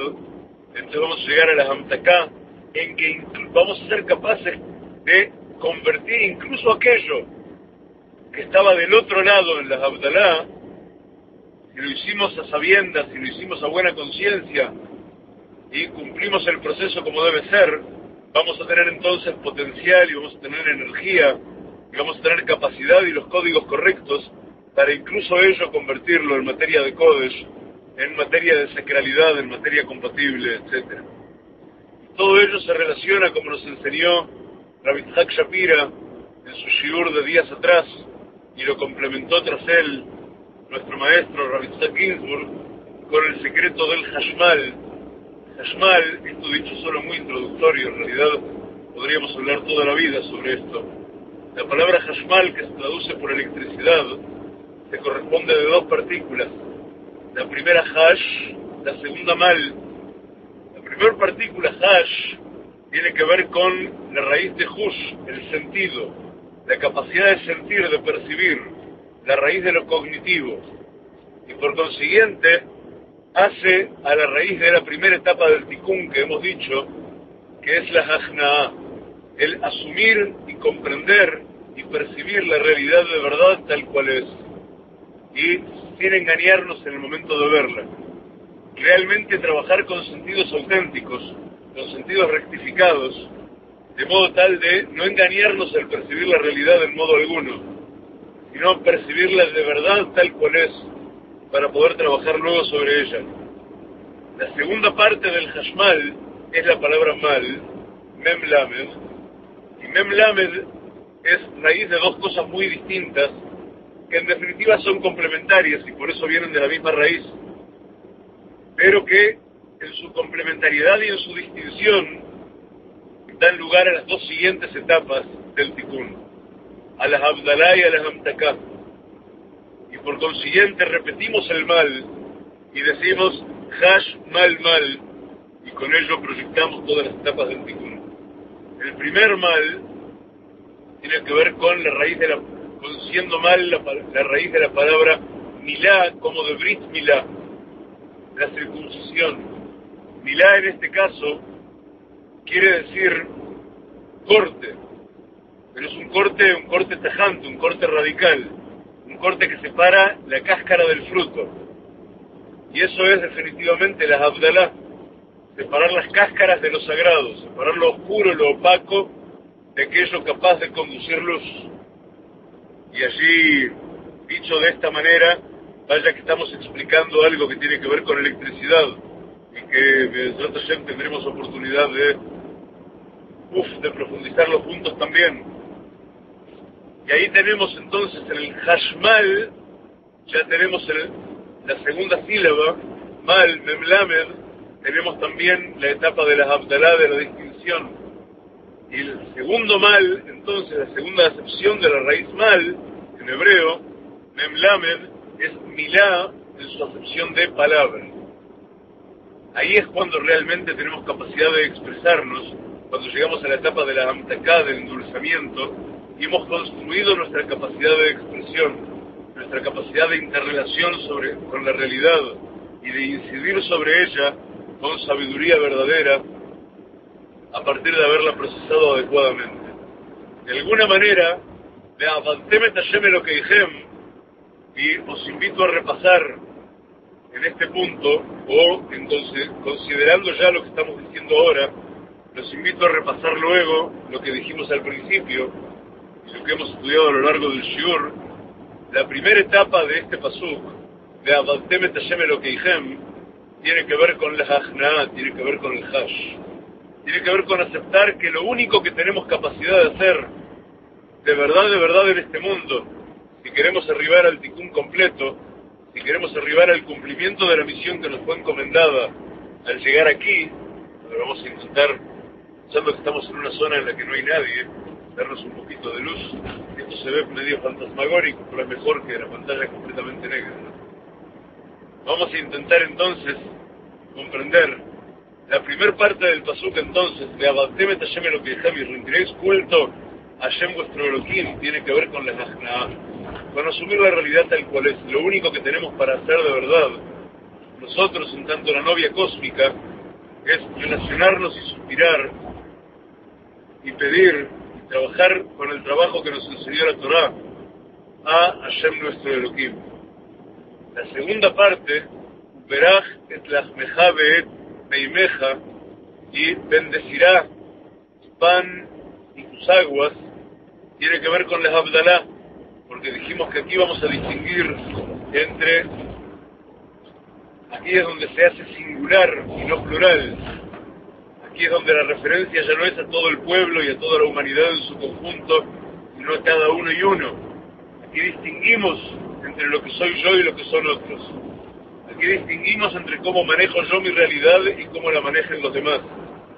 Acá distinguimos entre mi misión y la misión de los demás y a cada uno de acuerdo a la expresión que le ha correspondido, etcétera, etcétera, en todos los órdenes que hemos estudiado esta segunda expresión, vamos a descubrir que tiene que ver con Abdalá, tiene que ver con poner cercos a la realidad propia y dejar afuera de la realidad propia lo que no pertenece a la realidad propia, para que luego, una vez que conseguimos el Shalom Bay, el Shalom completo, en el círculo que es mío, efectivamente mío y que está bajo mi égida, tener de verdad la posibilidad y la capacidad de incidir con bien y para bien en todo lo que me rodea.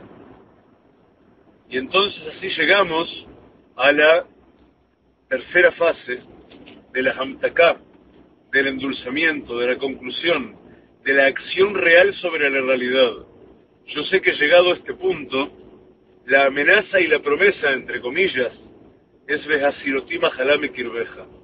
Extirparé el mal de dentro de ti. Pero yo tengo capacidad y conozco el secreto para endulzar eso. Yo tengo la capacidad y conozco el secreto para convertir algo que suena a terrible, a una operación quirúrgica a fondo y de alto riesgo.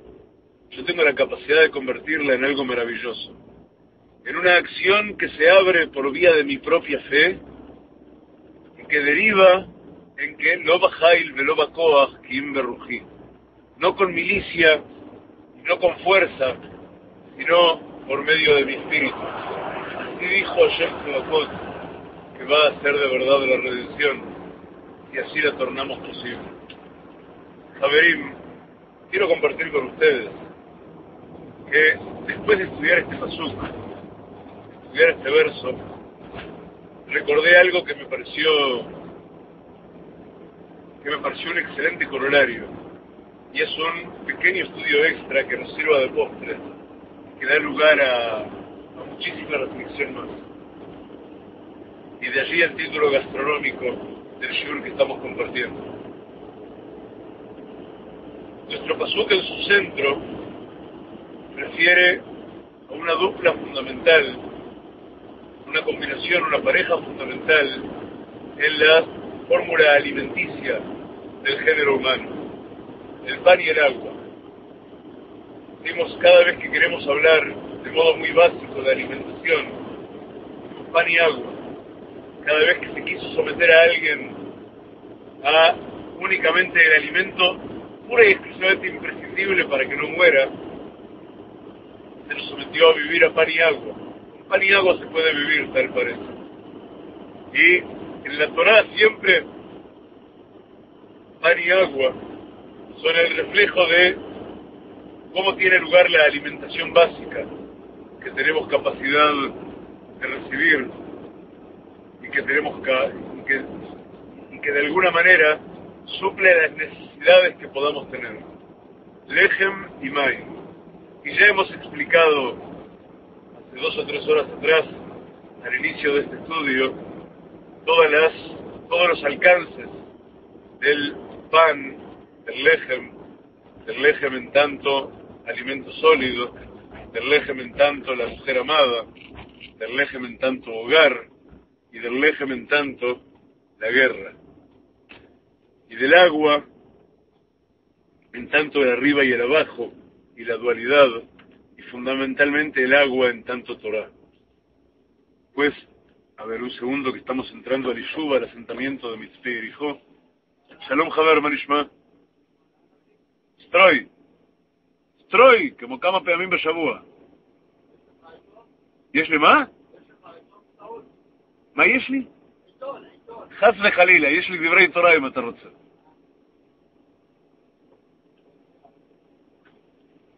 אל תקרא עיתונים, זה הכל שקר.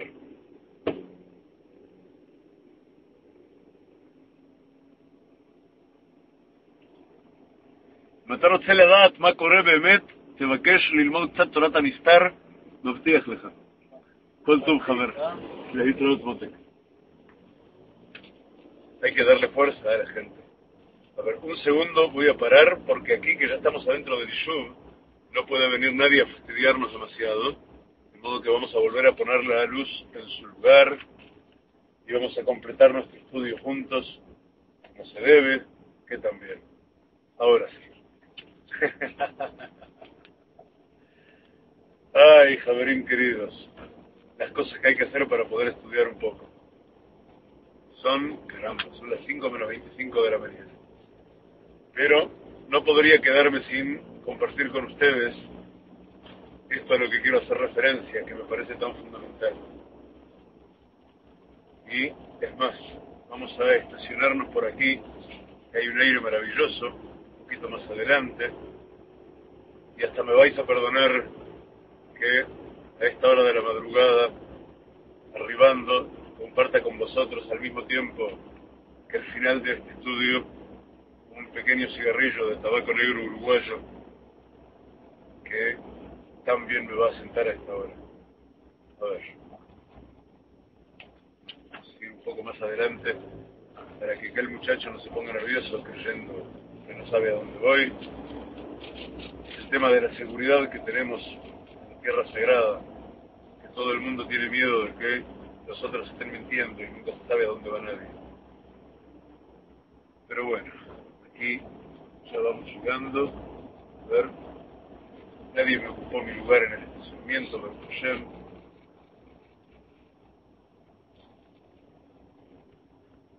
Vamos arribando.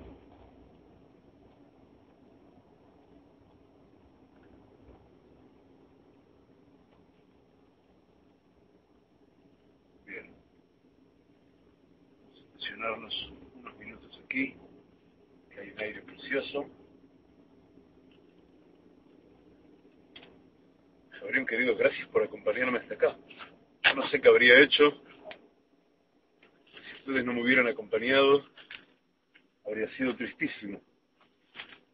Este, en cambio, de este modo uno siente que el viaje en sí mismo tiene sentido, que es como deben ser las cosas, es recuperar aquello de niños. Saben, eh, a veces mis hijitas pequeñas se ponen a hacer ese tipo de cosas que uno siente que, que son un poco inútiles o que o que requieren o que requieren un esfuerzo que sería tan fácil resolver con mucho menos. Por ejemplo, toman, hoy estábamos sentados con ellas jugando en una placita de juegos, donde hay hamacas y demás, y hay pedregullo. Y Isca, mi hijita menor, que tiene apenas dos años, empezó, se paró entre el pedregullo y empezó a tomar pequeños puñados de pedregullo blanco rosáceo que había en una zona y a caminar un metro y arrojarlo sobre una zona en la que había pedregullo color gris. Y en realidad, y, tomaba de a tres, cuatro piedrecillas. Más allá de la utilidad de, de la acción completa, pongamos por caso que hubiera alguna utilidad para la acción completa, aún así, ello se podía hacer todo mucho más rápido. Podía tomar un balde, podía juntar en el cuenco de las manos una cantidad, y no hacía falta caminar tantas veces ese metro o dos para un lado o para otro. Pero la verdad es que a ella no le importaba el resultado de la acción. Ella estaba gozando de la acción misma. Ella sabe a sus dos años lo que la mayoría de los adultos hemos olvidado, que el, el camino de verdad es la vida, que la vida no es aquello a lo que debemos llegar. Pero sin embargo después, cuando uno crece, caramba, en el jardinera te dicen que la verdadera vida llega cuando llegues a la escuela. Y cuando estás en primero de escuela, te dicen, de primaria, te dicen que la vida de verdad es cuando llegues a segundo. Y así a lo largo de toda la primaria, pero no, no, de verdad vas a ser grande, de verdad vas a poder vivir cuando llegues a secundaria. Y en secundaria cuando llegues a la universidad. Y en la universidad cuando te recibas. Y cuando te recibas cuando te cases. Y cuando te cases y empieces con la hipoteca de la casa y con la crianza de los hijos y todo lo demás, bueno, cuando te jubiles. Y hemos visto a más de una persona de los 70, 80 años estar esperando que llegue el momento de por fin empezar a vivir, porque aún no han tenido tiempo de hacerlo. Entonces nosotros sabemos, es un privilegio tan grande el que vosotros me dais, de poder compartir con vosotros el camino. Da igual, el viaje es la experiencia en sí misma. Baruch Hashem aparte llegamos, pero no estamos apurados por llegar, porque estamos llegando a cada, a cada revolución de las ruedas del auto, estamos llegando a donde de verdad debemos estar, porque estamos compartiendo este estudio juntos. Les decíamos, volvemos al tema con vuestro permiso. Me adelanto a los comentarios de alguno que otro que siempre están. Esto es muy bueno para la salud.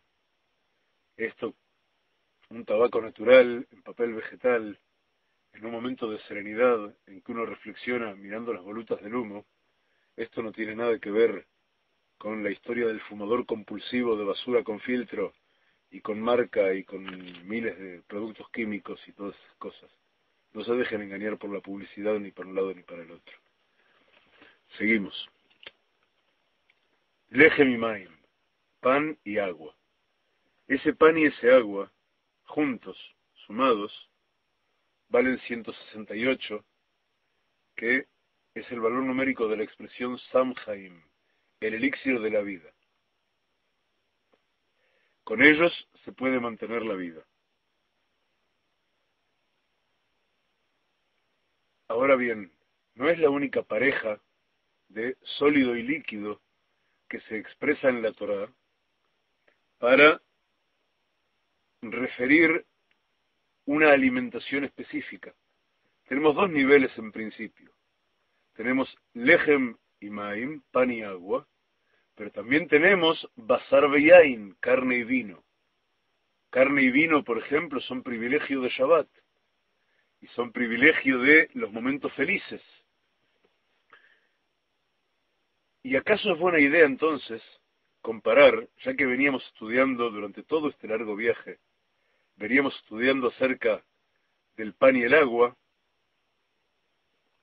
¿acaso es oportuno comparar la combinación de pan y agua con la combinación de carne y vino en términos de Torah? Pan y agua dijimos, pan más agua, lejem más maim, tienen el valor numérico de samhaim, el elixir de la vida. Pero caminamos un punto más para arriba y nos encontramos con que Basar y Ain, en su valor numérico 572 conjunto, tienen el valor numérico de la expresión Behayule Basar Ejad, y serán a una carne. Y serán a una carne es la fusión completa. Es esa misma fusión de la que estamos hablando todo el tiempo. Creador y creación, Kucha Brihush, Hintei, el novio cósmico con la novia cósmica, y el amado con la amada. Eso está en la dimensión no del pan y agua, no de lo elemental para vivir, sino de la vida suma, de la vida más alta, de la vida en realización verdadera de su cometido. Y eso está reflejado en Basar Beyain. Y a tal punto está reflejado en Basar Beyain, claro, en Leje Mimaim, en pan y agua, uno no se arriesga a nada. Es la vida, la vida llana, es la vida en sí misma, es el sostén de la vida. Ahora, cuando agregamos valor a la vida y llegamos al punto del alimento de Shabbat, de carne y vino, de Basar y Yain, entonces ya hay dos polos. Eso puede ser para bien o puede ser para el opuesto, que a la postre va a redundar en bien también, pero puede ser para el opuesto.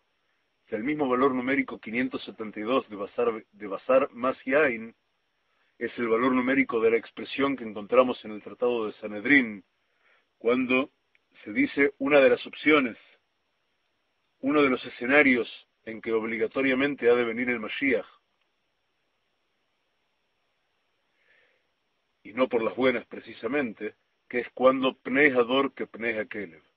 Cuando la faz de la generación, la apariencia de la generación, es como la faz del perro. ¿Qué quiere decir del perro? El perro se distingue por su indolencia, por su impertinencia, eh, por su por su estar preocupado constantemente por, por recibir lo que a él le corresponde y por consiguiente ser todo lo salamero que haga falta, pero en realidad, a priori, ser indolente. Entonces, Pnei que Pnei Kelev es una generación en la cual a nadie le importa verdaderamente de nadie, sino que es todo un mundo de apariencias. Y esa es la generación que estamos tratando de corregir, para lograr que el Bazar y el Yain sean cuestión de unión, sean cuestión de Vehayule Bazar Ejad y serán a una carne. Pero nos vamos a encontrar con una sorpresa más grande todavía cuando ponemos la Vav de la conjunción, la Vav en hebreo es como la Y en español, entre el Lechem y el Maim, o sea, entre el pan y el, vi, el, pan y el, y el agua, y entre el Bazar y el Yain, entre la carne y el vino. Ahí sumamos seis a cada una de las expresiones. Si la suma de Lechem y Maim era 168, ahora Lechem ve Maim va a valer 174 cuando están definitivamente juntos. Y ese 174, mirad cómo funciona el escalón del uno al otro. 174, Lechem Bemaim, pan y agua, equivale a la expresión Melech Tobu Meitiv, que también lo decimos en el Birkat Amazon, en la bendición que decimos después de la comida. Melech Tobu Meitiv, rey que es bueno y hace bien. Es una expresión maravillosa, pero es general es como que eso es aplicable en términos generales a la creación toda, a las criaturas todas. Melech Tobu Meitiv. Y, y, sin especificar, es bueno y hace bien, prodiga bien. Será de qué manera cada quien es vago, es abarcador. Cuando subimos un escalón y llegamos a pasar Beyain, a carne y vino, nos encontramos con que su valor numérico 578 equivale a la expresión también del Birkat Amazon, Azan umefarnes la col, mucho más específico, el que alimenta y da sustento a todo. Y a todo ese col implica a todos y cada uno. Debería ser más bien traducido por todos y cada uno, porque es el conjunto y es todas las partes del conjunto. Y ya no es solamente que prodiga bien, no, no, alimenta y da sustento. Zan alimenta en términos específicamente de alimentos y Mefarnes de Parnasá es el sustento a todos los niveles. Y la col a todas las partes y por consiguiente equivale también a la expresión que está en la Torah y está en las promesas, verrapó y rapé. Y curar se curará, que refiere a que provee la cura al cuerpo y al alma provee la cura en lo bajo y en lo alto. Y eso ya viene en la cualidad de Basar Beyain, que es el alimento de Shabbat.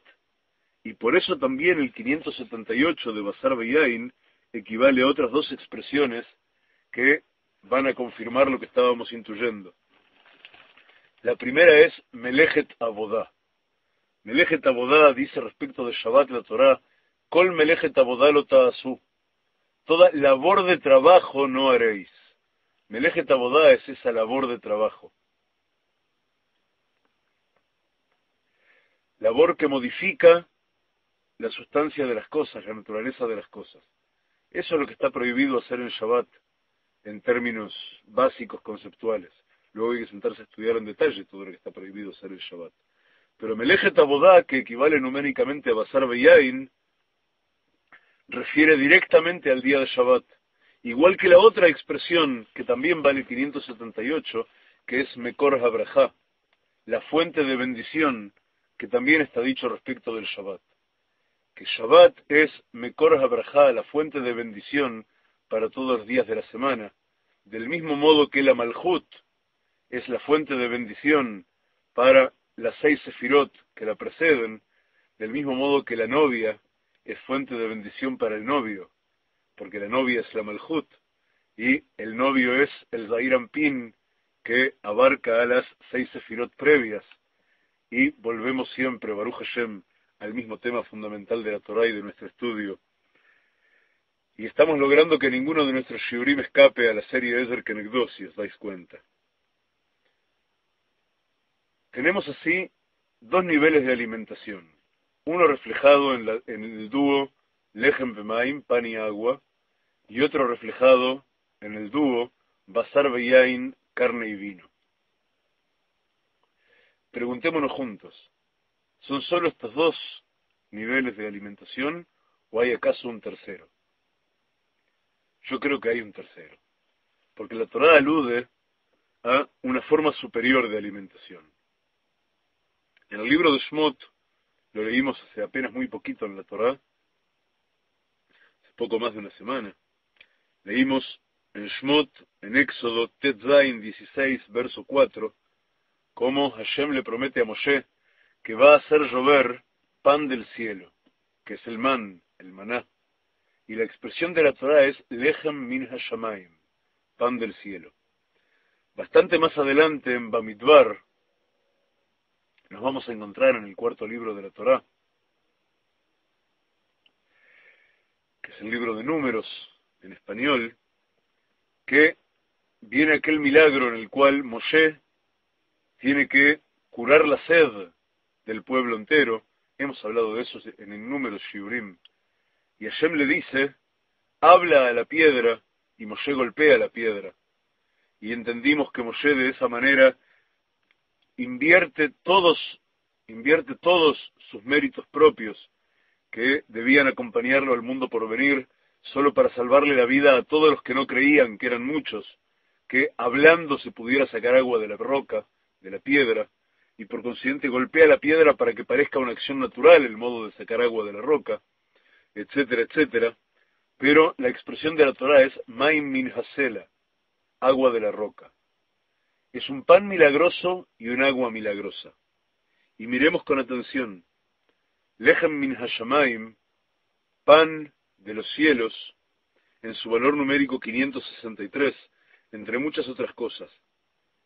Vale lo mismo que la suma de Binah aquí arriba y Malhut, allí abajo. Y Malhut es llamada la Binah de abajo, porque Binah se parte al medio y se divide entre Binah y Malhut porque son esos dos polos de vuelta, son los dos polos definitivos y extremos, el novio y la novia, que tienen que unirse en Basarejad, a una carne, al final de la redención. Ellos son juntos la verdadera redención. Binah Malhut, Binah y Malhut se reúnen en Lechem Min Hashamayim. Hay muchas otras igualdades que, que hacen a esto, pero estamos alargando demasiado y esta es la más relevante para el estudio que estamos compartiendo. El resto, como dije al principio, están disponibles ya en el blog de nuestros borradores. Maim Hasela, por su parte, prestad atención. ¿Por qué era tan fundamental que Moshe hiciera el tikkun de extraer agua de la roca por medio de la palabra? Que fuera por medio de la palabra es porque el tikkun de Moshe era fundamentalmente el tikkun de la palabra. Recordaréis que cuando Hashem le encomendó a Moshe su misión desde el Sneboer, desde la zarza ardiente, Moshe, la primera excusa que opuso fue que él era pesado de boca, no sabía expresarse. Y todo el trabajo de Moshe tiene que ver con el tikkun hadibur, con el tikkun, la enmienda, la rectificación de la palabra. Entonces era por medio de la palabra. Pero Maimin Hasela específicamente, el agua de la roca, tiene el valor numérico 345 de la palabra Moshe. Era el tikkun específico de Moshe. El nombre de Moshe equivale a Maimin Hasela, el agua de la roca. Pero también, y Moshe de paso, es la sefirá de Daat en este trabajo. Eso quiere decir, Daat es la intermedium. Daat reúne Jochma y Binah y las une por vía del sistema nervioso con Malhut, porque Daat es conocimiento vivencial. Y ahí es donde se ubica Moshe. Tenemos Binah Malhut en Lechem Minashamaim, en el pan que desciende de los cielos, y tenemos a Moshe en Maimin Hasela, en el agua, que es la Torah, que proviene de la roca. Moshe que trajo a la Torah de los cielos, desde la Sinai hasta abajo, tenía que hacer subir el agua, que también es Torah, desde la cela, desde la roca, era el secreto de su propio nombre. Pero Moshe que es Daat, entonces, viene a complementar con el agua de la roca al Binam al que es el pan que desciende de los cielos.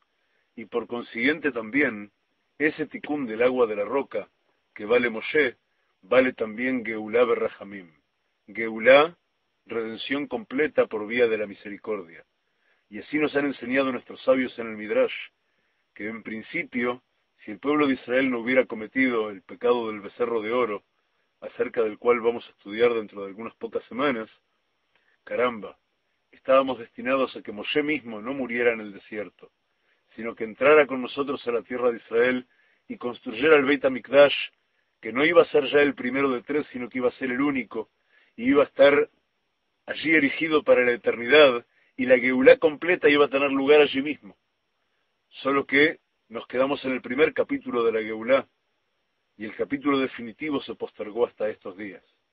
Geulá Berrahamim habría sido esa la verdadera Geulá completa por vía de la misericordia, por vía de la columna del medio representada por el propio Moshe que habría sido dada por el tikkun de el agua que surge de la roca por vía de la palabra. Pero hay más, porque si sumamos Lechem Minashamaim a Maim Minhasela, obtenemos el número 908. 908 es un número que hemos visitado abundantemente en nuestro estudio de Eder Kenegdó, y por consiguiente no vamos a volver a los mismos conceptos, vamos a recordar solamente que equivale al pasuk, al verso completo del libro de Tehilim de los Salmos, en el Salmo 127, verso 4, que dice que Hitzim Beyad Gibor Eurim, como flechas en manos del vigoroso, así son los hijos de la juventud, y hay que profundizar mucho en el tema, lo hicimos en su momento, no vamos a volver a eso exactamente ahora, también equivale a la expresión Rujosh el Mashiach. Fijaos, la conjunción de, tenemos el pan de los cielos, todavía no es la conjunción, porque tenemos sin la bab del medio. El pan de los cielos y el agua que nace de la roca. Ellos dos juntos, esa tirantez, esa, vocación de unirse de lo más alto con lo más bajo, lo que viene de la profundidad con lo que viene de las alturas tiene que ver con la conformación de Rujó del Mashiach, del Ruach del Mashiach. Y Ruach también es el punto intermedio entre la Neshama, Ruach el espíritu es el punto intermedio entre la Neshama, el alma, y el Nefesh, el sistema motriz, básicamente, que vivifica ese Nefesh que está alojado en la sangre misma de la vida. Pero no es solo eso. Fijaos qué maravilla que 908, y volvemos a nosotros mismos, es el valor numérico de la expresión que repetimos cada día tres veces dentro de nuestra tefilat amidad, dentro de nuestra plegaria de 19 bendiciones, cuando decimos Abha Rahaman Shma Padre misericordioso, oye, atiende nuestra voz. Abha Rahaman Shma Pero caramba, estamos diciendo que 908 es que ya hay pan de los cielos y ya hay agua que viene de la roca. ¿A guisa de qué eso es igual? ¿A guisa de qué tiene, vigencia, es relevante en esa situación decir, Abba Rahamán Shmakoleinu, por favor, Padre misericordioso, atiende nuestra voz. ¿Qué más estamos por pedir? ¿Qué más podemos pedir si ya tenemos la vida milagrosa entera para nosotros? El pan de los cielos, el agua que, que asciende desde las profundidades de modo milagroso, por vía de la palabra, ¿qué más podríamos pedir? Y ese es el secreto de lo que decimos sobre el final de la tefilá cada día, antes de decir en que Elokeinu, cuando decimos el pasuk, Kabe el Hashem, Hazak ametz libeja, de Kabe el Hashem. Kabe el Hashem Hazak. Deposita tu confianza, deposita tu fe, deposita tu esperanza en Hashem, y Él fortalecerá tu corazón. Y entonces, ¿qué? El Hashem, y vuelve a depositar tu confianza y tu fe y tu esperanza en Hashem. Una y otra vez, y a cada paso y a cada revolución. No te quedes en aquello a lo que llegaste. No digas, caramba, no te aburgueses en el logro. No, no corras el riesgo de creer por un solo instante que el milagro te pertenece, sino que el milagro hay que merecerlo a cada instante. No des por sentado el pan que cae de los cielos y el agua que emana de la roca. No lo des por sentado, sino que todo el tiempo vuelve a entregar tu confianza únicamente a Hashem. Y no si un día tienes la billetera llena de dinero te creas, ah, ya soy poderoso, ya no necesito más nada. No, no, uno nunca sabe a dónde de verdad lo puede llevar a Kadosh Barujú y qué pruebas tiene que pasar. Y a cada paso uno tiene que saber, Abba Rahamán Shma pues yo tengo que pedirte a ti, tengo que solicitar de ti todo aquello que necesito. Y en ti debo confiarme, y a ti debo pedir, y en ti debo depositar toda mi expectativa hacia adelante de bien, de redención, de rectificación de ticún verdadero, de shalom. Y entonces la conjunción de estos dos, que se acercan el uno al otro, el pan de los cielos y el agua que sale de las profundidades de la tierra y sale por medio del dibur, por medio de la palabra, también equivalen a dos ternas, dos ternas muy importantes, que también las repetimos mucho. La primera también la repetimos en Shmona Esre, en uno de los dos Nushaot fundamentales, en una de las dos formas, fórmulas de Shmona Esre. En la primer braja de las intermedias, pedimos a Hashem que nos dé Jochma Binah y. Y una de las formas, una de las dos formas en que esto se expresa es Bedat, Bevinah u Behaskel. Con Da'at, con Binah y con Segel y Segel es Jochma, con conocimiento, con entendimiento y con sabiduría. Así pedimos a Hashem que nos permita comprender nuestra realidad. Y cuando está el alimento más excelso y cuando está la bebida más sublime, es cuando se de verdad se juntan en nosotros las capacidades para arribar a una comprensión Bedad, Bebinau, Beaskel.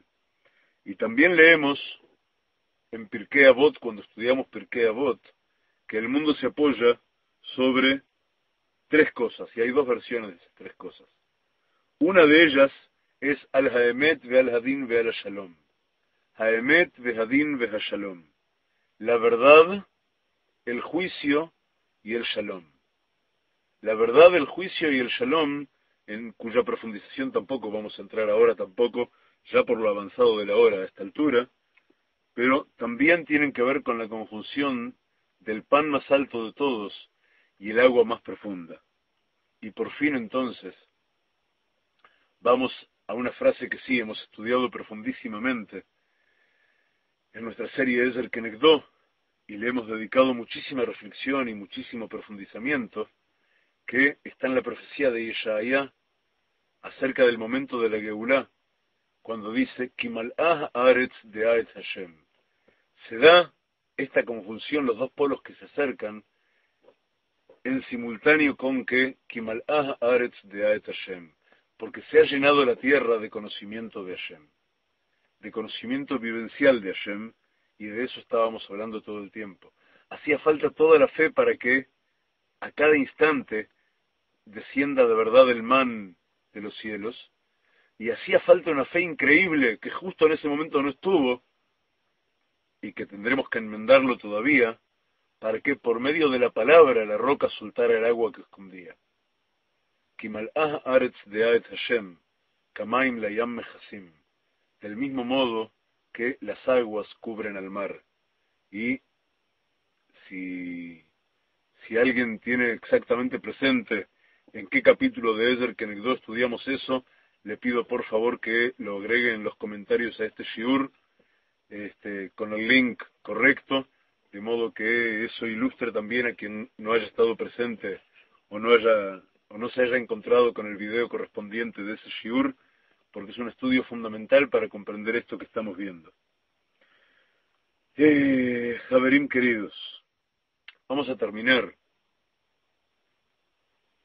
agregando la baba en el medio, que une en matrimonio perfecto, de Ayule que une en matrimonio perfecto al Lechem Minashamaim, al pan de los cielos, al pan del firmamento, con Mai Minasela, con las aguas de la roca. Lechem Minashamaim u Mai Minasela, los dos juntos con la Bab de la conjunción en el medio, tienen valor numérico 914. 914, primero que nada, es el valor numérico de la palabra Bereshit más uno.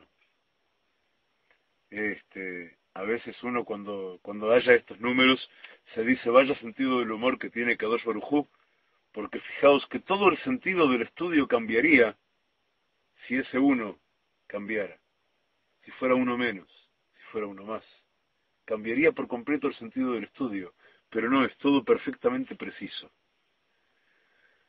Lechem min umay min hasela.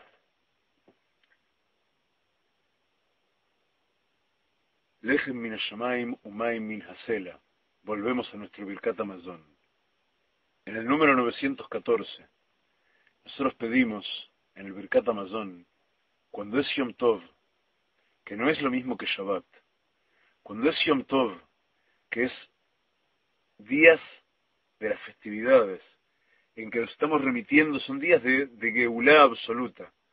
Todos los días de las festividades en que tenemos Yom Tov tienen que ver con el proceso de Geulá desde Mitzrayim y con el proceso de Geulá también en nuestro tiempo. Y cuando decimos entonces Birkat Amazon, cerca del final, en Yom Tov, agregamos una frase que toda ella es expectativa de Geulá. Y decimos, Arrahamán, Uyan Gilenu, Yom Shekulotov. El misericordioso nos dará en heredad nos dará para nosotros, nos asignará un día que es todo bien. Ese día es el día del tiempo por venir. Es ese día en que para siempre todo va a ser bien y ya no va a haber mal.